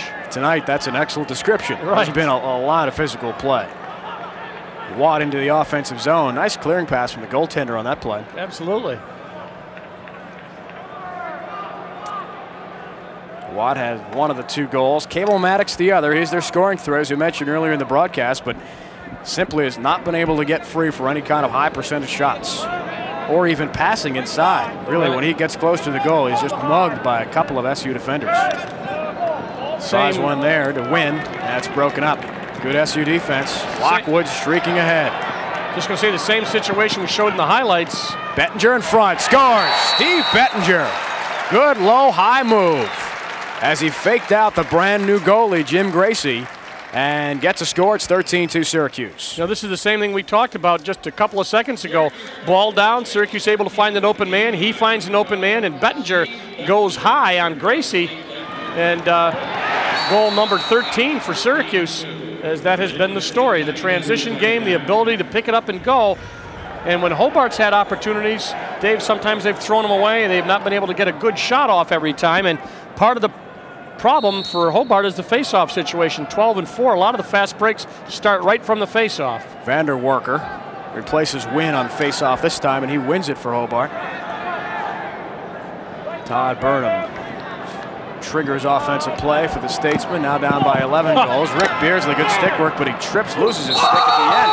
Oh, and a hit put on. Burnham went down. You can hear Chris Saran screaming as Reggie Thorpe just crushed Todd Burnham. Man, what a hit. People say, you know, is there any body contact in lacrosse? I see a lot of sticks and stuff, but do you ever get hit often? I mean, if the ball's down, can somebody just come over and run a whole big long distance and hit you like that? And they absolutely can. He lined him up in the scope and hit the bullseye on that one. Burnham had no idea it was coming. Oh, boy. And he may not know where he is right now, Geneva or Syracuse. Orangeman in the offensive zone. Offside against, uh, should be offside, I believe, against Hobart. That'll be technical, and, and Syracuse will get uh, 30 seconds uh, for a, a man-up opportunity for number one. 13.04 left in the second, third quarter, I should say, and Syracuse gets their first man-up opportunity. They've given up several and one goal and two man-down situation in the second quarter. Yeah, they've given up seven, seven for one. That's about uh, that's about usual. but it hasn't hurt them too much. SU now on the man-up, technical violation, 30 seconds on that offside call. Jamie Archer had that one stripped momentarily, but Lockwood recovers. Good pass down low, shot and a score. And another goal for Matt Riter, his fourth of the night. Syracuse leads at 14-2, 12-47 now left in the third quarter. That's Lockwood. Uh, nice pass. There's the look right across the crease. It's very difficult when you're man down, and uh, Syracuse just did exactly what you're supposed to do found a man on the crease all alone and uncovered. Matt Riter's fourth of the night, as we mentioned, against Brown Saturday, had five. 10th all-time leading score in Syracuse University history. Those five goals last week, a season high for any SU player. Freddie Amaya comes away with that one off the face-off. O'Connor racing, trying to catch him. Steve Bettinger in there. And Jim Gracie's got to feel kind of lonely now. Coming in to replace Warder after one half of play. He's seen a couple of shots and they've both gone by him. Bettinger driving in again. Syracuse relentless with the pressure. Great feed. Went to Riter, went off the post, but a rebound and a score from Sullivan. Hit the pipe on the first shot, but Paul Sullivan there to scoop up the loose ball and put it home. Orangemen now have a 13 goal lead. It's 15-2 with 12-14 left in the third. I was going to mention Archer had been kind of quiet, but he started this one off. I don't think he'll get an assist on that, but he was always looking. Watch Archer. There he is. Quick pass, popped it. There's the rebound. That's why it's very difficult. If you lose the rebound, the goalie's got to turn, try to find it. And Sullivan found it first and the goal. I'm checking the man down now. Syracuse 42 opportunities. They've stopped 35 of 42 man down opportunities. They are tremendous, tremendous uh, effort, and uh, covering the ball from play. It's going to go uh, Syracuse way. So another face-off. 14 to five now in that department. Sullivan scoops the ground ball. He'll trigger play after scoring the goal a couple of moments ago. Matt Riter, good spin move, loses his man, already creating the advantage. Sullivan up top with a shot, and Gracie finally gets across on it. It's got to feel good for him, and then the outlet too high for his man. Thorpe diving on the far side. That's got to be good too for the younger players, Dale, to see a guy like Reggie Thorpe. He's a senior, doesn't have to prove a lot. He knows he's going to be in the lineup. His team's up by 13 in the second half, and he's still full extension diving for a loose ball. Very intense. He's a, a wrestler also in high school, right. and uh, those guys always seem to be really intense, and uh, he goes all out all the time. 6'1", 203 pound senior from JE. Here's King, watched by Smith with a long stick. Hobart just has not had any offensive flow in this game. Oh. Great shot out front from Burnham, though. Todd Burnham got free, and a leaping laser beam right by Chris Saran. So as I'm saying, Hobart can't generate offense. They get a free shot, and Todd Burnham takes advantage. Good point. They got a free shot. They got Beardsley got hung up with Saran. Saran came out, and he could not get back. Watch right here. Here's the pass. There's a nice look as he beat He's coming around. Beardsley got hung up. I'm just trying to check who got the assist on that for Hobart. Burnham got the goal. I'm not sure whether it was win or not. No assist on that, I guess. So Watt facing off against Fazy for Syracuse. That stops a, a six-goal run from the Orangemen. O'Connor had a cross on it. Fred Amaya in there hitting people as is Bob Fazy. Sullivan trying to take off some heads down low. Comes oh. away to Kukovan recovered. Cable Maddox. And man, is Fred Amaya laying people out. Fred Amaya went through two Hobart players. Todd Burnham really had his bell rung. Cable Maddox before that. Look at the physical play. There's a, there's a push, and the, he, he cannot get his legs. He says, I just got to get rid of the ball. And then Maddox puts Man. his head down to pick it up, and uh, he gets clobbered. Fred Amaya hammered him. Kugovan watching intently on defense. They called interference on that to give him the ball back, so I'm just checking to see what uh, Hobart's going to be able to do now. A little confidence, maybe? They jump from the crease. They could use it. Really struggling in this game. Syracuse, good effort from Thorpe in the crease. Reggie with a right-handed cradle is going to cross midfield, bring all the way himself. Maybe he'll shoot it. He had a little give and go work, and he's toward the crease now. Sullivan gets a shot off, went behind the cage. Higgins trying for Hobart. Good effort by Sullivan. Uh, Steve Bettinger to recover for Syracuse. There's Fazy. Riter loses Riter it. lost it. Rarity there. You almost never see that. Riter shaking up a bit. Slow whistle penalty is called. It's going to go against Syracuse. That'll be a slash on Riter. As Riter, frustration after losing the ball out of his cross, is going to sit down for a minute. Man up coming up for Hobart, trailing by 12 goals. Man up number eight, and we're going to see Riter. See, he loses it right there, and now he's a little frustrated. He's going to go after it, but ooh, you can't get anything but the stick if you're going to do a one-hand check, and he didn't get anything but his helmet and his shoulder pad. He got a lot of helmet there, that's yeah, for sure. he sure did. Whacked him. Cleaved him. so it'll be uh, down a minute, number eight for Syracuse. Riter sits, Tony Gray starts play, Cable Maddox, number 14, behind the cage. Watt, who has one of the goals.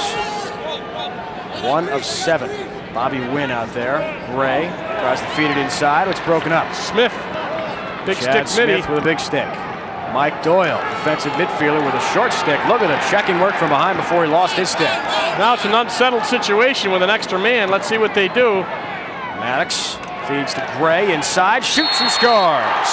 Tony Gray, number seven. The senior from Hogansburg, New York, gets a goal. Seventh of the year Tony Gray, midfielder. That's going to be one minute on a cross check or unnecessary roughness, illegal check. We'll see it. There's the right there on the head, and then there's Man. the check. There's the check right there. Thorpe and, and Thorpe then and Beardsley. Beardsley, and then Beardsley. So Syracuse will be down again, and uh, this will be man up opportunity number nine. So I said earlier they were being good. Now they have crept back up, heading for double figures in the penalty department. Time served. There's Tony Gray. Stats on the 93 season thus far. Hobart came in with a 2 and 1 record, lost their game at Notre Dame. 15 14 in overtime, beat Ithaca, game at Cornell. I was kind of shocked Cornell. about the Notre Dame. I mean, Notre yeah. Dame, uh, you know, re relatively new to the ranks, uh, but uh, obviously doing a good job in South Bend.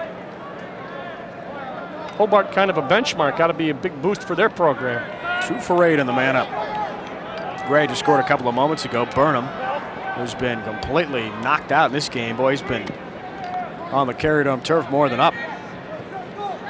Gray loses it for a moment. Smith, good work with a long stick. Good hustle by Chad Smith. Tony Gray knew he was going to get hit by Kugavin. And some pushing and shoving, and we may have a double penalty coming up.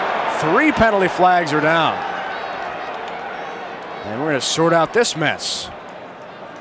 You know, there's a bit of bad blood between these schools as Coach Simmons watches on. A lot of rivalry, very intense. Uh, we might be able to figure this. They may have done double penalty on that. And uh,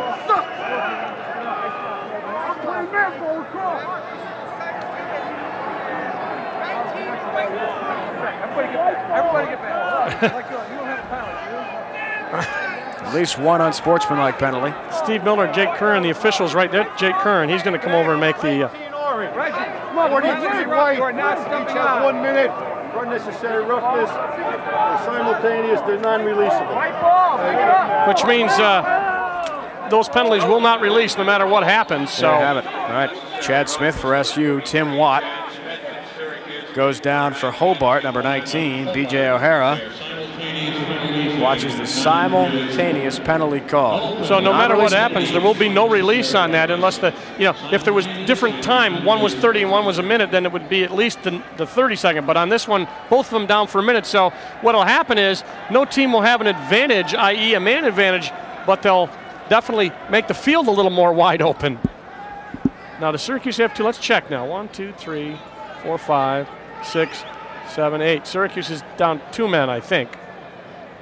Yes, they're still down two men, so Look that penalty, occurred. Yeah. 10 penalties for Syracuse in this game. Nine minutes they've logged, down at least a man.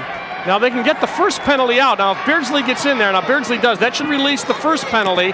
So now they're only, now they're even. They're both down a man. Lockwood comes on. Beardsley, Whistler shot there wide of the cage. Gracie didn't even see that one, went by him, but Luckily for Hobart, wide of the cage. Teams are at even strength, nine men apiece. They're both down a man, and they released the first penalty when uh, Beardsley got it into the goal area. But now it uh, it does open things up a bit, Dave. It's not quite as crowded out there with two fewer bodies out there. Maybe a little bit less physical play, more finesse. We'll see. O'Connor to clear. Matt Ryder all over him. Syracuse's aggressive ride defense. Oh, see, they trapped him over there. Good double team on the far side. Archer there as well, and may have a turnover. Procedure against Hobart. Great defense from Syracuse. See how they aggressively went after that ball. See, there he is on the side there. Now Archer comes over, and they're all over it. Nice move by Barr. Syracuse. Riter on the far side, left-handed shot this time turned around. It was stick to side before it got there. O'Connor will dig it up for Hobart on the far side. Here comes Tony Gray with a full head of steam. Oh, tough, tough to beat. Laser Air ball race. Cable Maddox took a swipe at Kugavin. Lockwood wasn't looking no, for that pass. Kugavin tried to. This is this is great. I think you, you need a lung transplant when this little series is done. Statesman the other way. 7.30 left, third quarter, 15-4 game. They even up now? I think they're, yeah, I think we're all even. I don't think there's anybody in the box anymore. So now we're still even up at full strength. Brett Larry in, number 13. Mike Wynn out there, 45. He's a second line midi. Leary with a left-handed cradle.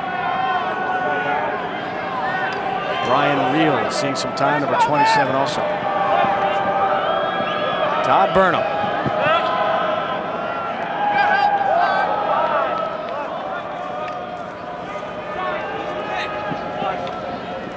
Peter Linklip also getting some more playing time. Look at Kugavan just driving him in the ground. Harassing Cable Maddox. And Maddox talking to the official, but he's not going to get any sympathy. Brian Reel to Burnham. Watched by Linklip.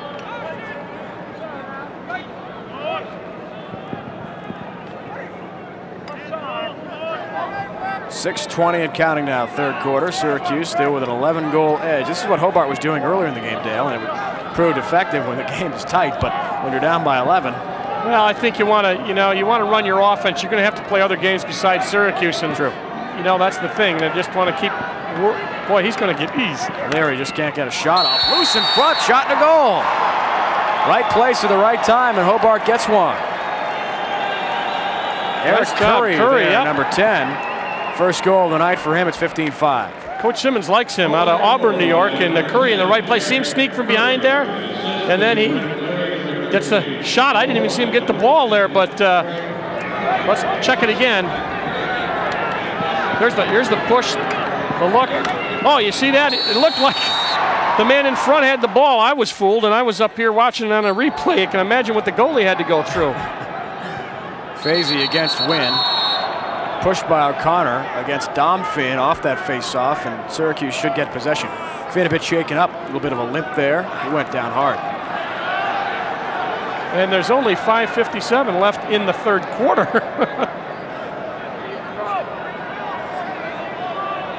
game is uh, second half going a little longer than I had thought. A lot of penalties, a lot of discussion. At any rate, uh, Syracuse still has a 10 goal lead.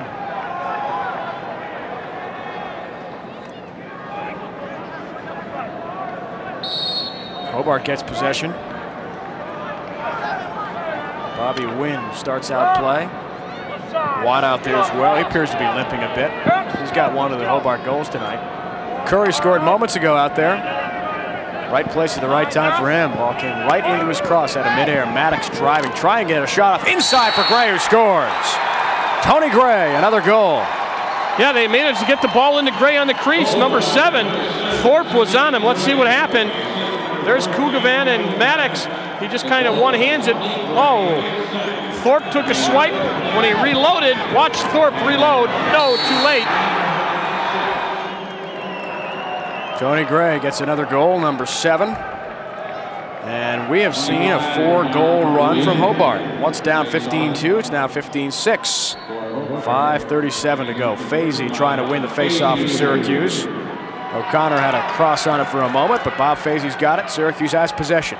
They are really playing hard on the ball. They, they go after the man with the ball constantly. Hobart trying to pressure the ball. They're jumping.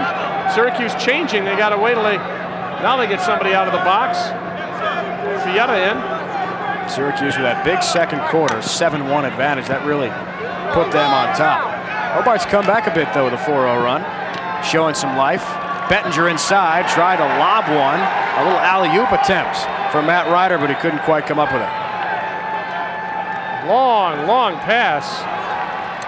Good clearing pass. James Martin had a cross on it for a moment. Bill Palmer with a long stick. Number 15 lost his glove. Battle for it near midfield. No possession. Colsey had a cross on it. Guys don't even know where the ball is. They're just hitting the field. Dom Fin down. He is very upset. There's a there's a Fietta on the far side tries to dig it out for Syracuse. Went behind the back and lost it on the sideline. So Hobart takes over.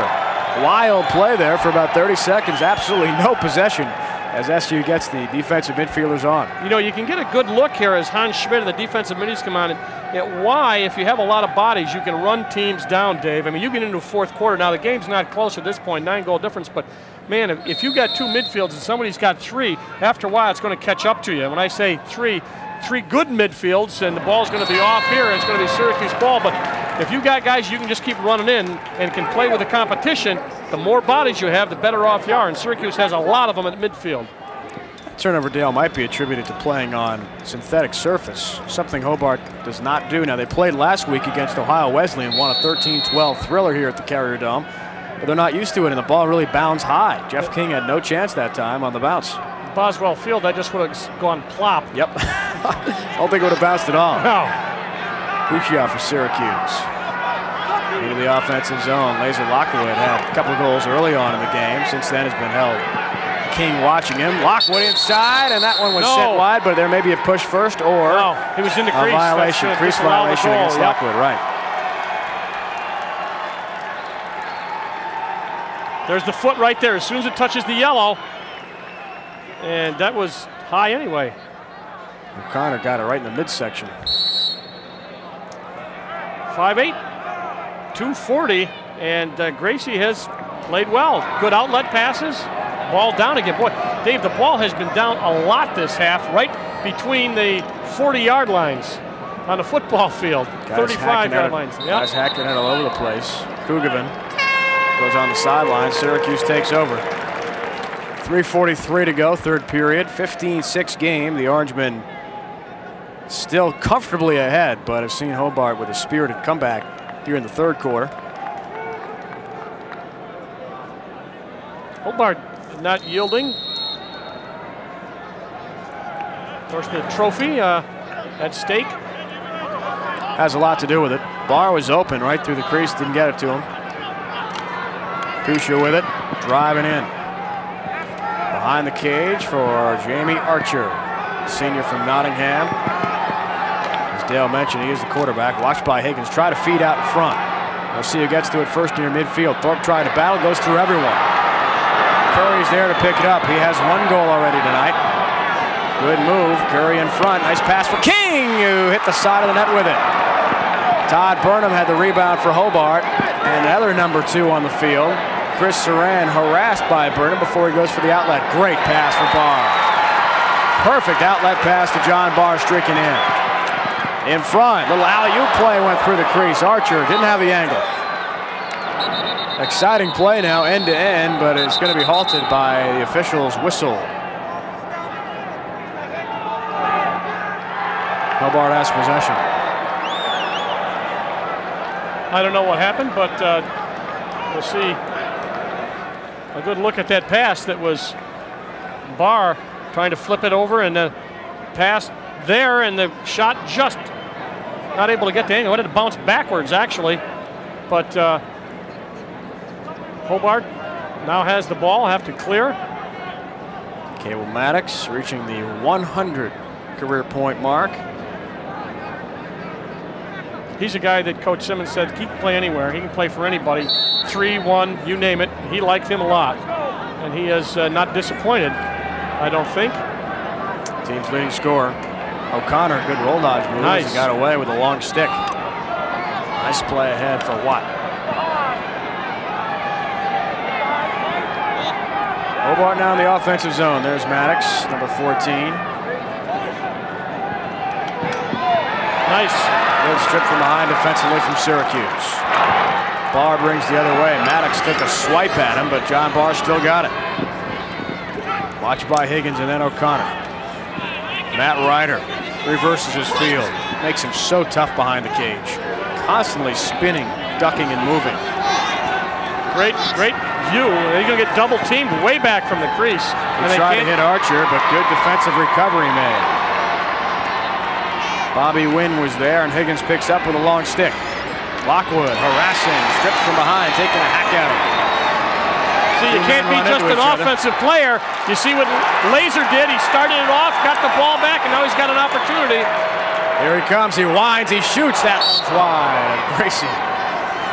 What does a goaltender think, Dale, when he sees Charlie Lockwood coming at him with a full head of steam, and instead of rushing toward the net, taking a five-foot shot. He's just going to whine and let his 100-mile-an-hour whistler go. He says, I hope there are enough people in front of me that it hits somebody before it gets to me. Please don't let it hit me. That's I don't care if it goes in, just don't let it hit me. Down to 120 left third quarter. 15-6 game. Oh, good jump. Good move inside. Shot put on net by Pusha. Orangemen up by nine. They've had a bit of a scoring drought. Last time Syracuse scored 12-14 in the third. Paul Sullivan make it 15-2.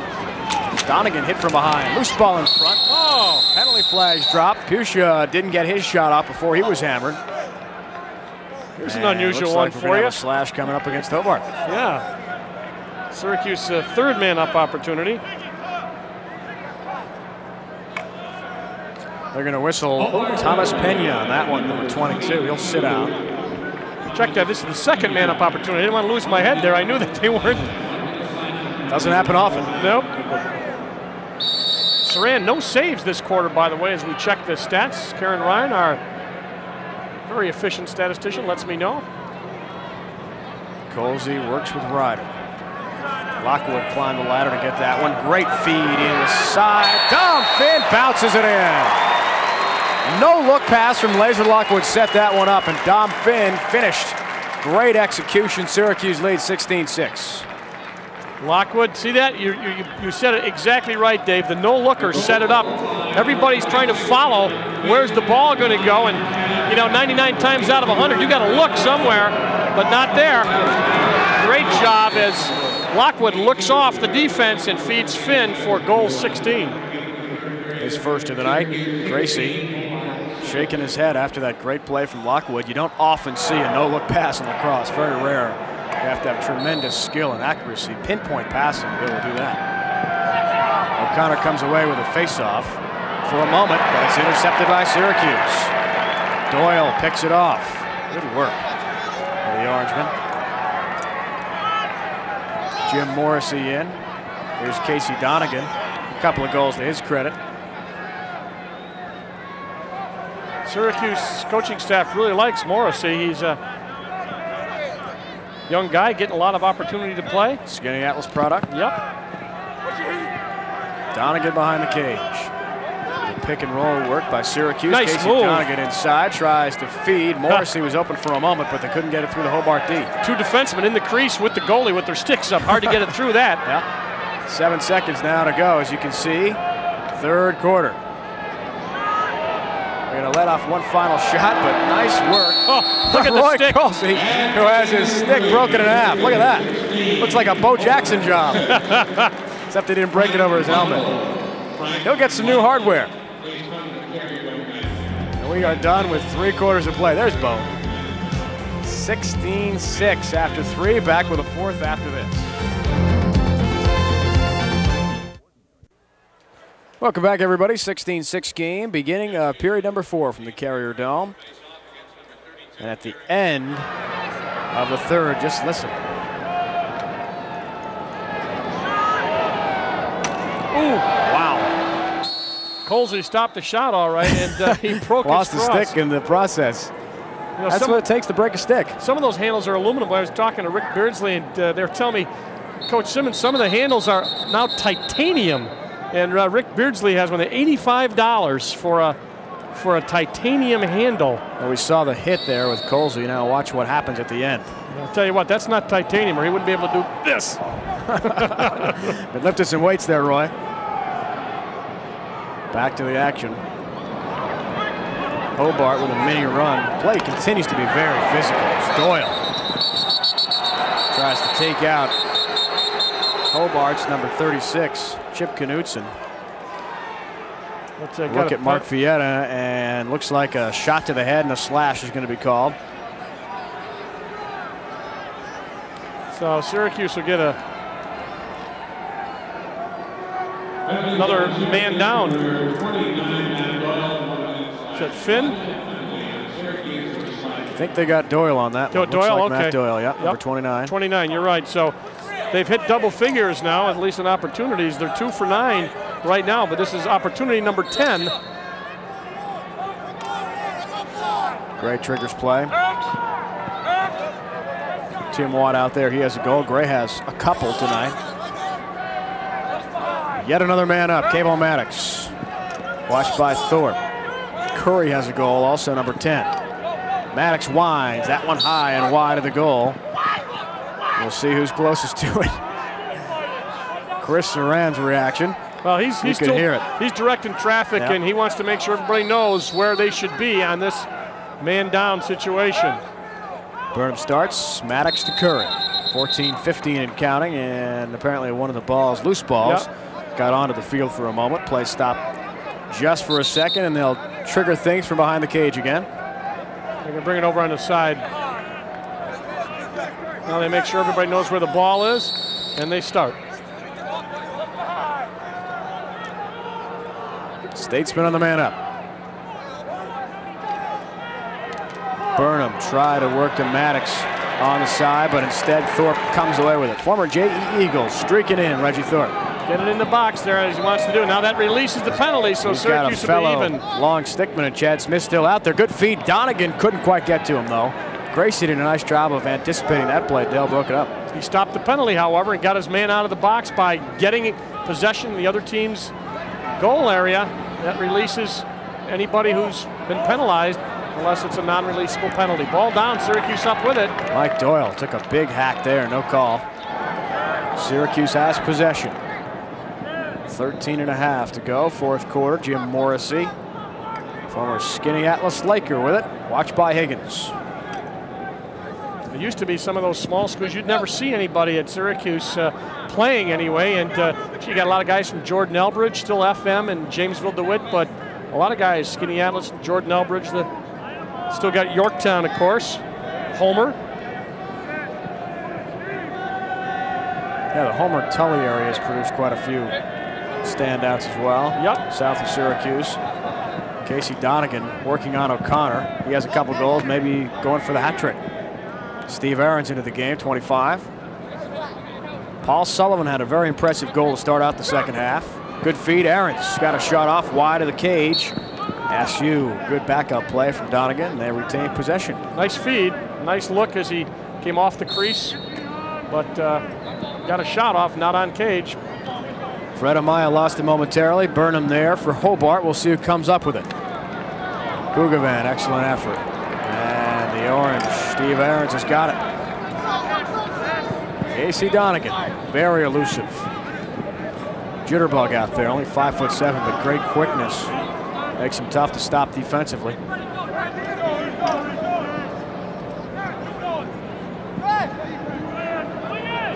Fred Amaya in close. Really uh, crowded there in the crease. Oh, loose ball. Sullivan had a great shot at Gracie. Still loose. Gracie made one save, pushing and shoving, and a whistle. And a push is going to be called against Hobart. Syracuse will keep it in the offensive end. Mapstone uh, pushing from behind. Ball up in the air. There it's down. And now as he comes in, takes a shot, save. And that's where all the that's where all the play. That's the push right there. Mapstone, you can't do that. Freddie Amaya behind the cage. Matt Doyle with it. As we saw halftime portion of the broadcast tonight. He had a great goal at the end of the first half. Sullivan, a whistler and a score. Paul Sullivan just whipped that one off to the right of Gracie, who had no chance at all to stop it. As he goes upper left, and the Orangemen now lead 17-6 gets the ball out.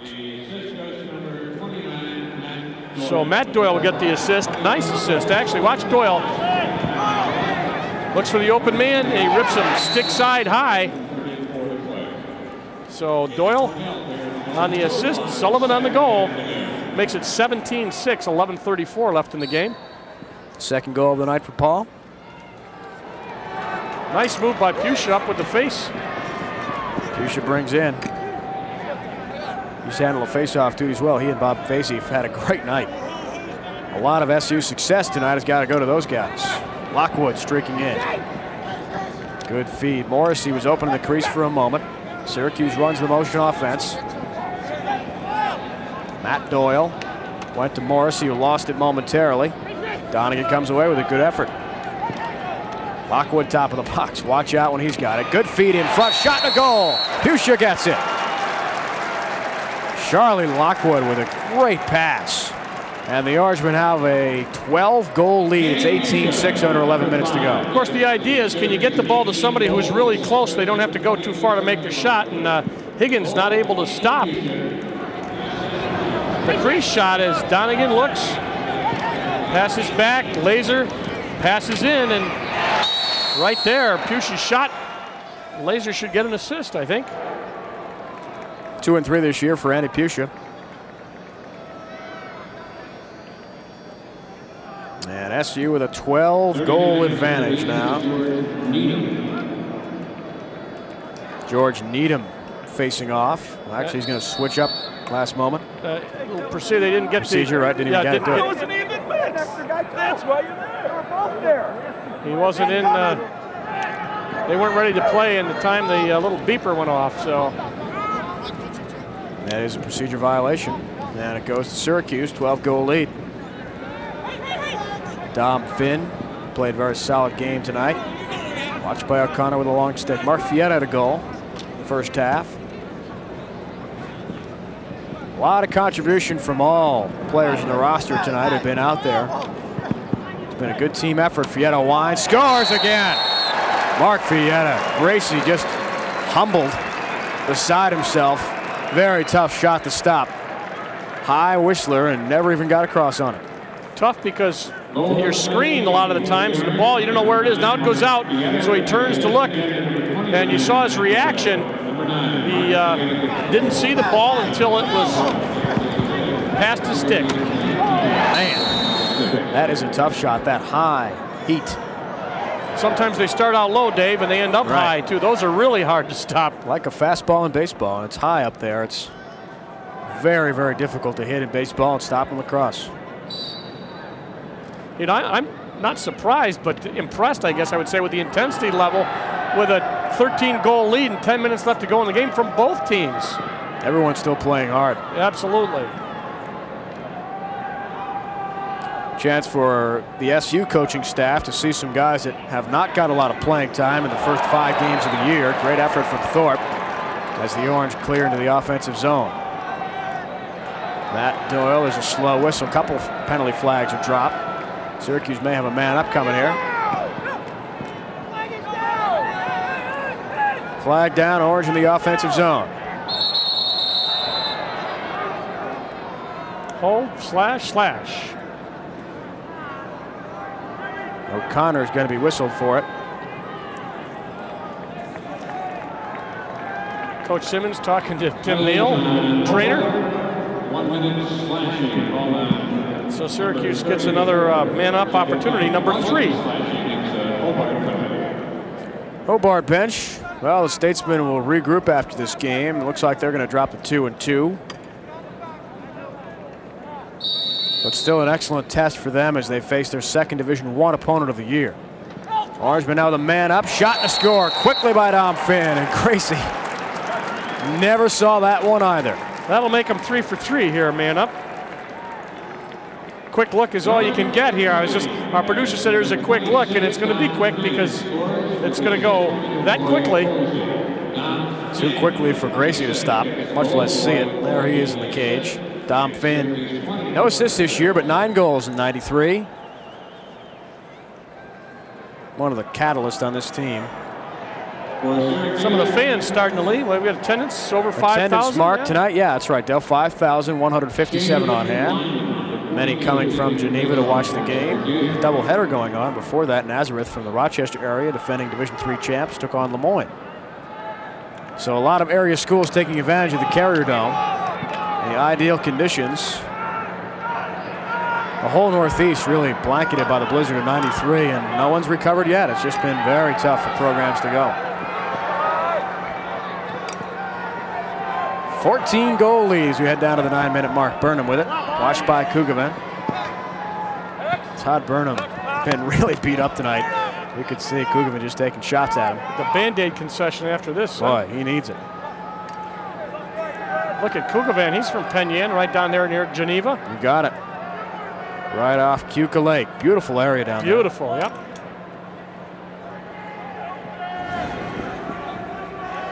Hobart try to penetrate, maybe uh, take some momentum into their next game as they continue the season.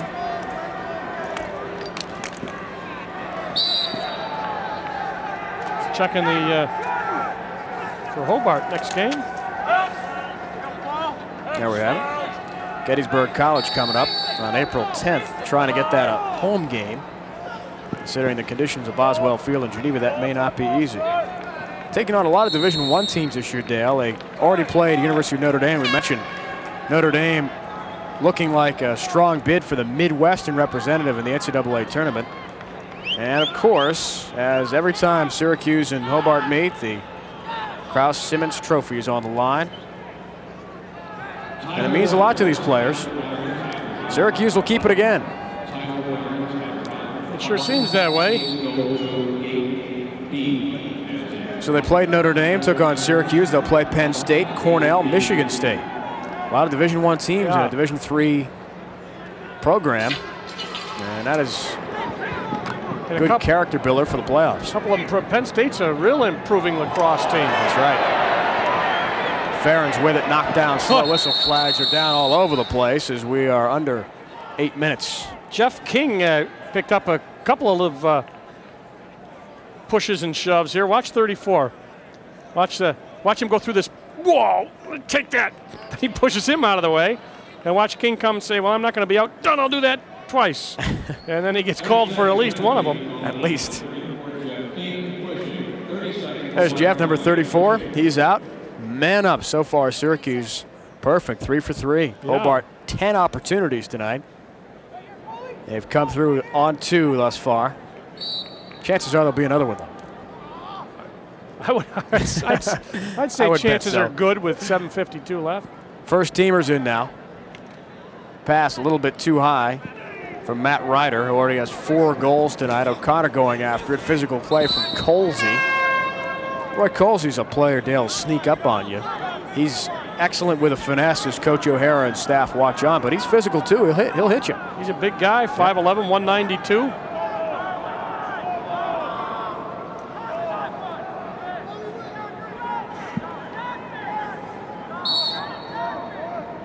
Bobby Wynn triggers play, back to Gracie. Nice pass by Gracie. Good outlet. Hobart starts off play.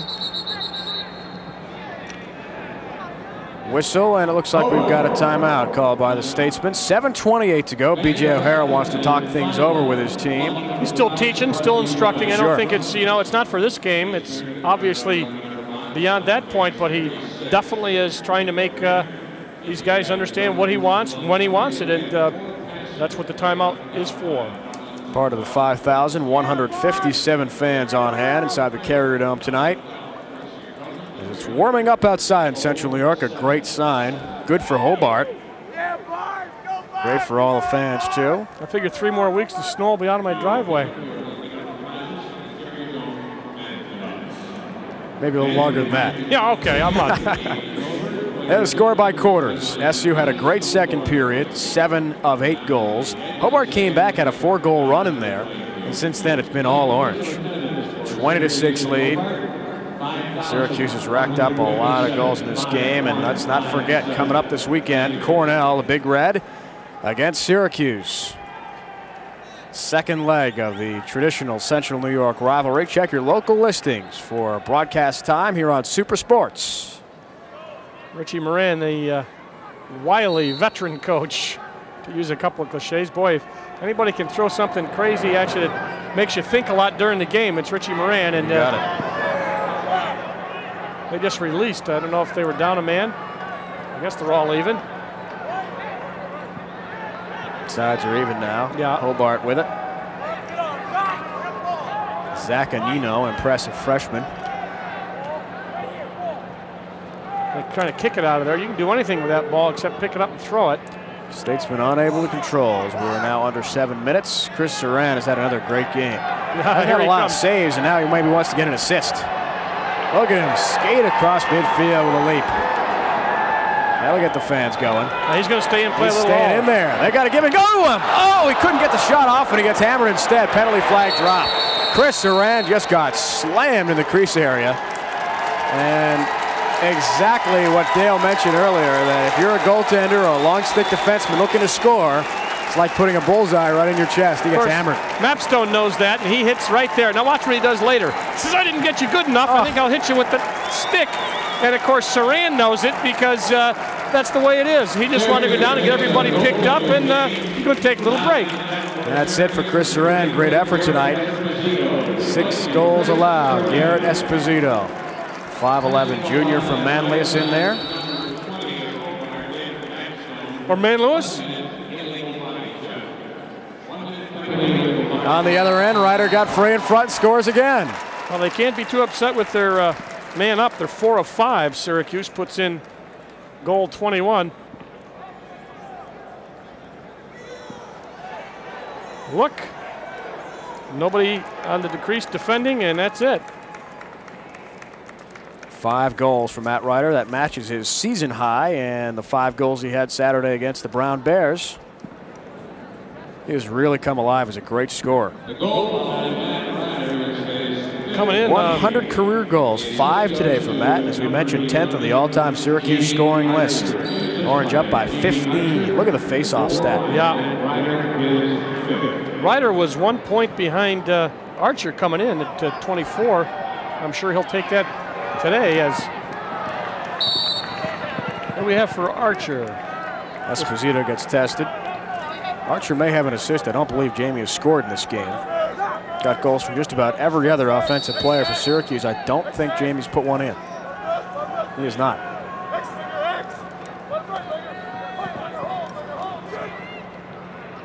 Orange with a big lead. Hobart tries to get a goal and Esposito, and they do it. Statesmen get one in there.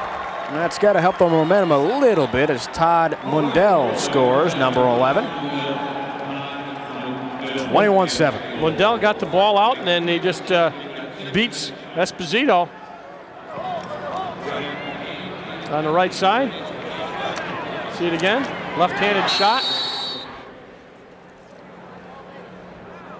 Stop what was a 6-0 run from Syracuse. Been a game of runs. And the Orangemen have been running down the Statesmen all night long. O'Connor comes away with it. Possession for the Hobart Statesmen as we're under six minutes. A couple of big sticks out there. And they make a change. Oh, poor pass. Syracuse will get this ball. Zaccanino trying to get that one from Matt Crowther. Thrown away. King comes back on along with Mark Birnbaum, number 23, seeing action for the first time. So both coaches, Dale, a chance to use a lot of guys. And as you mentioned, B.J. O'Hara, never one to give up, but he's also teaching his players a lot, looking forward to the next game against Gettysburg, what they can learn in these last few moments against a number two team in the nation in Division One. Ooh, long pass, and that's going to. I don't know. We got a got a horn. Horn blew. Yeah. Play continues, and now a penalty flag drop. Let's see what that's all about. One minute slashing penalty Yeah. apparently called. I just wonder what the horn was before that. At any rate, we'll get a look at uh, the save to keep the ball in. Great effort. Doesn't matter what the score is. All the players are still giving all their effort as he slides in. That's the way to do it, though. You've got to go on the shorts. You've got to have some cloth when you slide, Dale, on the turf, not your skin. Well, this is, uh, as you predicted, we would have at least one more man up for Hobart. There it is. Number 11. Feet in front. Gray kicks a field goal. It's good. Yeah, Between the goalposts, he had a little trouble can we give that. can we give Hobart three goals? No, I think not. Maybe Paul Pasqualoni is in attendance tonight. Impressed with that. Have a signee. Watt with it. Hit the five minute mark, fourth quarter. Syracuse up 21 7. We have a football score, Dale. Yeah, that's true. So there you go. Shot on net. Esposito up to the task. Garrett with a nice save. Outlets to Smith with a long stick. Chad would love to get one here. Syracuse has some numbers. Wines, bouncer, but right there to stick it aside is the goaltender, Jim Gracie. Nice hustle. Orangeman retained possession. Lemassoure with it, 46 getting some time. In low, they go to Eric Knaus, and another penalty flag is dropped. Mike Doyle may be the guilty party. Technical push has been called. Well, that'll be uh, Hobart's penalty, so Syracuse. Man up coming here. Got a man up. There's Jim Gracie. Came in with a 12-2 game, so he surrendered nine. Team has scored five in the second half. There's the man-up goal situation. Hobart three for 11. The Orange much more efficient, 75%, three for four. And they have a big lead. Jamie Archer, 21 goals. Archer doesn't have any yet, which is surprising. Lockwood winds and puts that one wide of Gracie. Syracuse there to back up, and the Orange retain possession.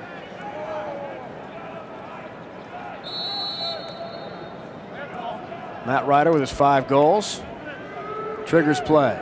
Colsey has scored tonight as well. Try to go in low. Good feed, and it ends up in the right place at the right time for Steve Bettinger, who gets another goal. Went right between a couple of Hobart long sticks. Bettinger fouled it in his cross and easily beat Gracie. Yep. Went right through, bounced once, and he took the one hopper and uh, put it right back in Gracie's face. Watch. There it is. So 22 to 7. Two and one for Steve Bettinger today. Give him three more points. Coming in, he was five and two this year. 5'10", 169 pound senior from Hewlett, New York. 405 as you see on the face-off. The Orangemen have completely dominated that stat. No possession indicated still. O'Connor really working hard for Hobart, number 40 with a long stick. A lot of hacking and bumping going on. Sullivan nearly gets crushed. He goes down. He's holding his knee. Oh, that might be trouble. Paul Sullivan put on the brakes to avoid a hit right near the football 35 yard line, and the SU trainers quickly out to attend to Oh, Paul boy. Sullivan. That may be dangerous. Watch Dale as he just puts on the brakes to avoid a big hit. We'll see it. Here he comes.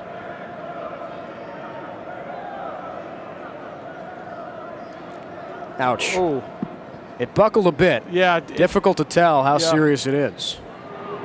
Maybe just a sprain, but you could see it twist. Here it is, full speed. Yeah, he planted to, to make a move, and uh, that's an awful feeling. Sophomore from Scarsdale. What a great job he's done this year, filling in for John Barr during his suspension, as we mentioned earlier. Could be a number of things. Could be as serious as an ACL injury, a anterior cruciate ligament. We certainly hope it's not that. Or it could be as minor as a sprain. And as you can imagine, Coach Simmons very concerned. There's a glaring disadvantage to playing on synthetic surface. Football players will attest to that. It's a hard surface, and sometimes your foot just does not give when you plant. You're right, it doesn't slide, and uh, we'll see if we can see it here. That was it. Ooh. Yeah, it twisted. When it, when it slowed down, maybe it's just a twisted knee. Do- Doesn't make makes my knee hurt just to watch it. Yeah. Makes my knee hurt just to watch it. Anybody who's even ever sprained a knee, can, I've never had it obviously blown out. You can't imagine what that must feel like. We don't know what this is.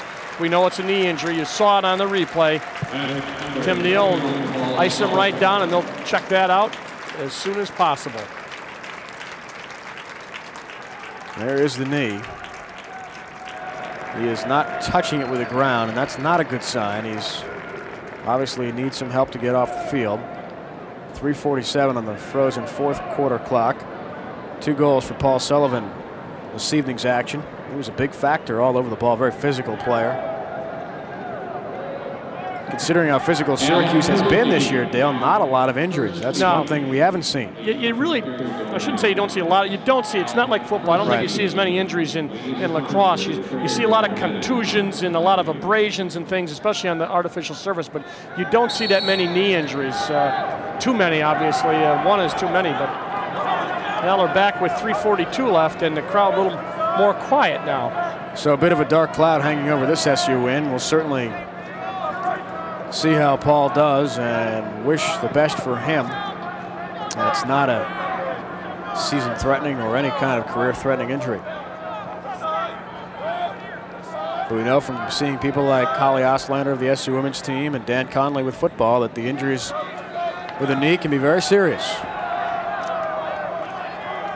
Heading down to the three-minute mark, fourth quarter. 22-7 game. SU with a huge advantage. Timeout Hobart. And a timeout called by Hobart. BJ O'Hara wants to do some teaching here and make sure his team with this possession executes properly. Kind of guy that's always looking ahead. He knows he can't win this game. He has Gettysburg coming up. Then they stay in New York State at Alfred. That's on the 14th of April. Then at Penn State. By that time, the field should be all right outside, I think.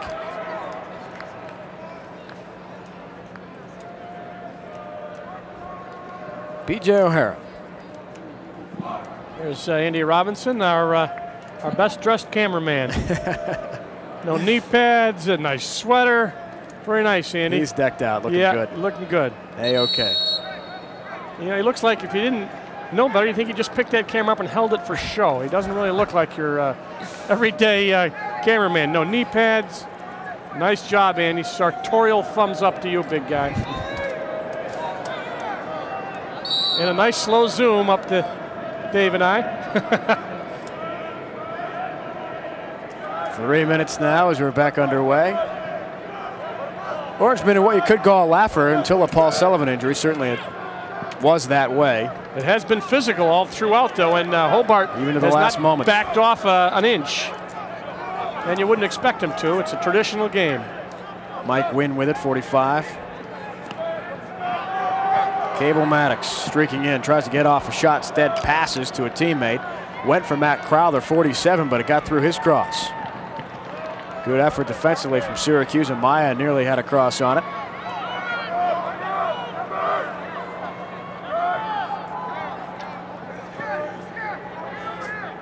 Tom Zaccanino. Hobart taking their time, running their offense. As you said, they're just, this is not their only game. They want to make sure they got a learning situation. Should be Syracuse ball. Esposito out of the goal. There Good first. hustle. Yep, good hustle. Cable Maddox very frustrated. You can understand why. Guy accustomed to scoring a lot of goals, just has not been able to get on track due to a good Syracuse defensive effort. Mike Smiley, 36 with a long stick, starts this break. Toby Price, number six there. As we're under two minutes. Price streaks in. Feeds off. Shot put on net by number 37, Nick Licamelli, the senior from West Jenny. Loose in the corner, still inbounds for a moment, but it hits the sideline and SU has possession. There's Nick.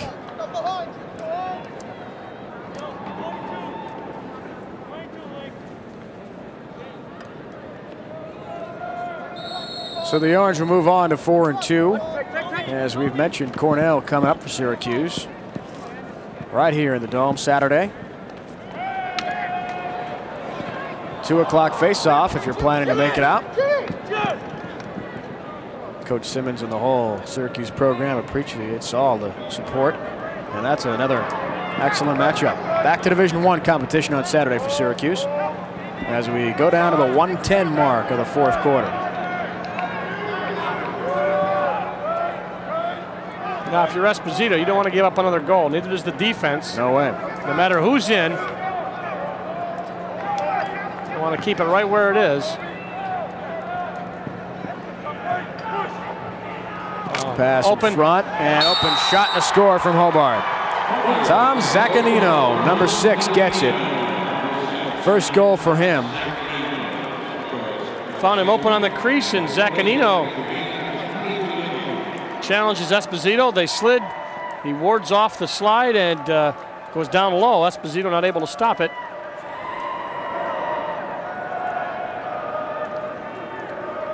Faceoffs up to Syracuse 20 to 12. And uh, Fazy out for Syracuse. and he's going to battle with Parcells. George Needham out there, actually, Dale. Is it? Yep. Getting some time. 39. His old eyes, Dave. Been a long night. Yeah. 33 seconds up there. 14 goal SU lead, so Syracuse with an impressive effort tonight.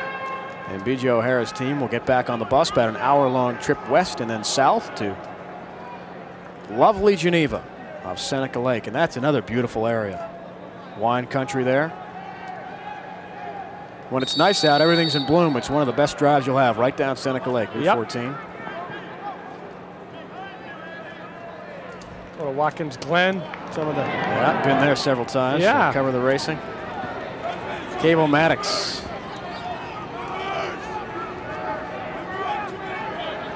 As we head down to the 10 second mark, let's see if they try one more shot or just settle with what they've got.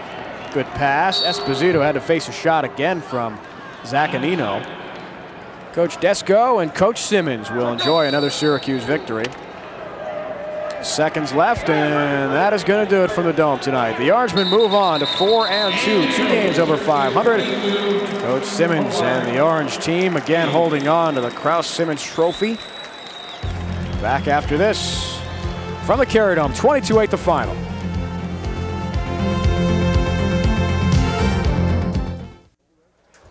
Welcome back, everybody. 22-8, the final score. Matt Riter, five goals before 5,157. And Coach Simmons Jr., another victory to hundreds of victories while Syracuse coach, talking with reporters after the game. And Dale, very impressive effort for Syracuse all the way around. Absolutely, very physical game. Uh, both teams played it right to the end, and uh, of course, the biggest thing, obviously, from Syracuse' viewpoint, is uh, the injury to Paul Sullivan.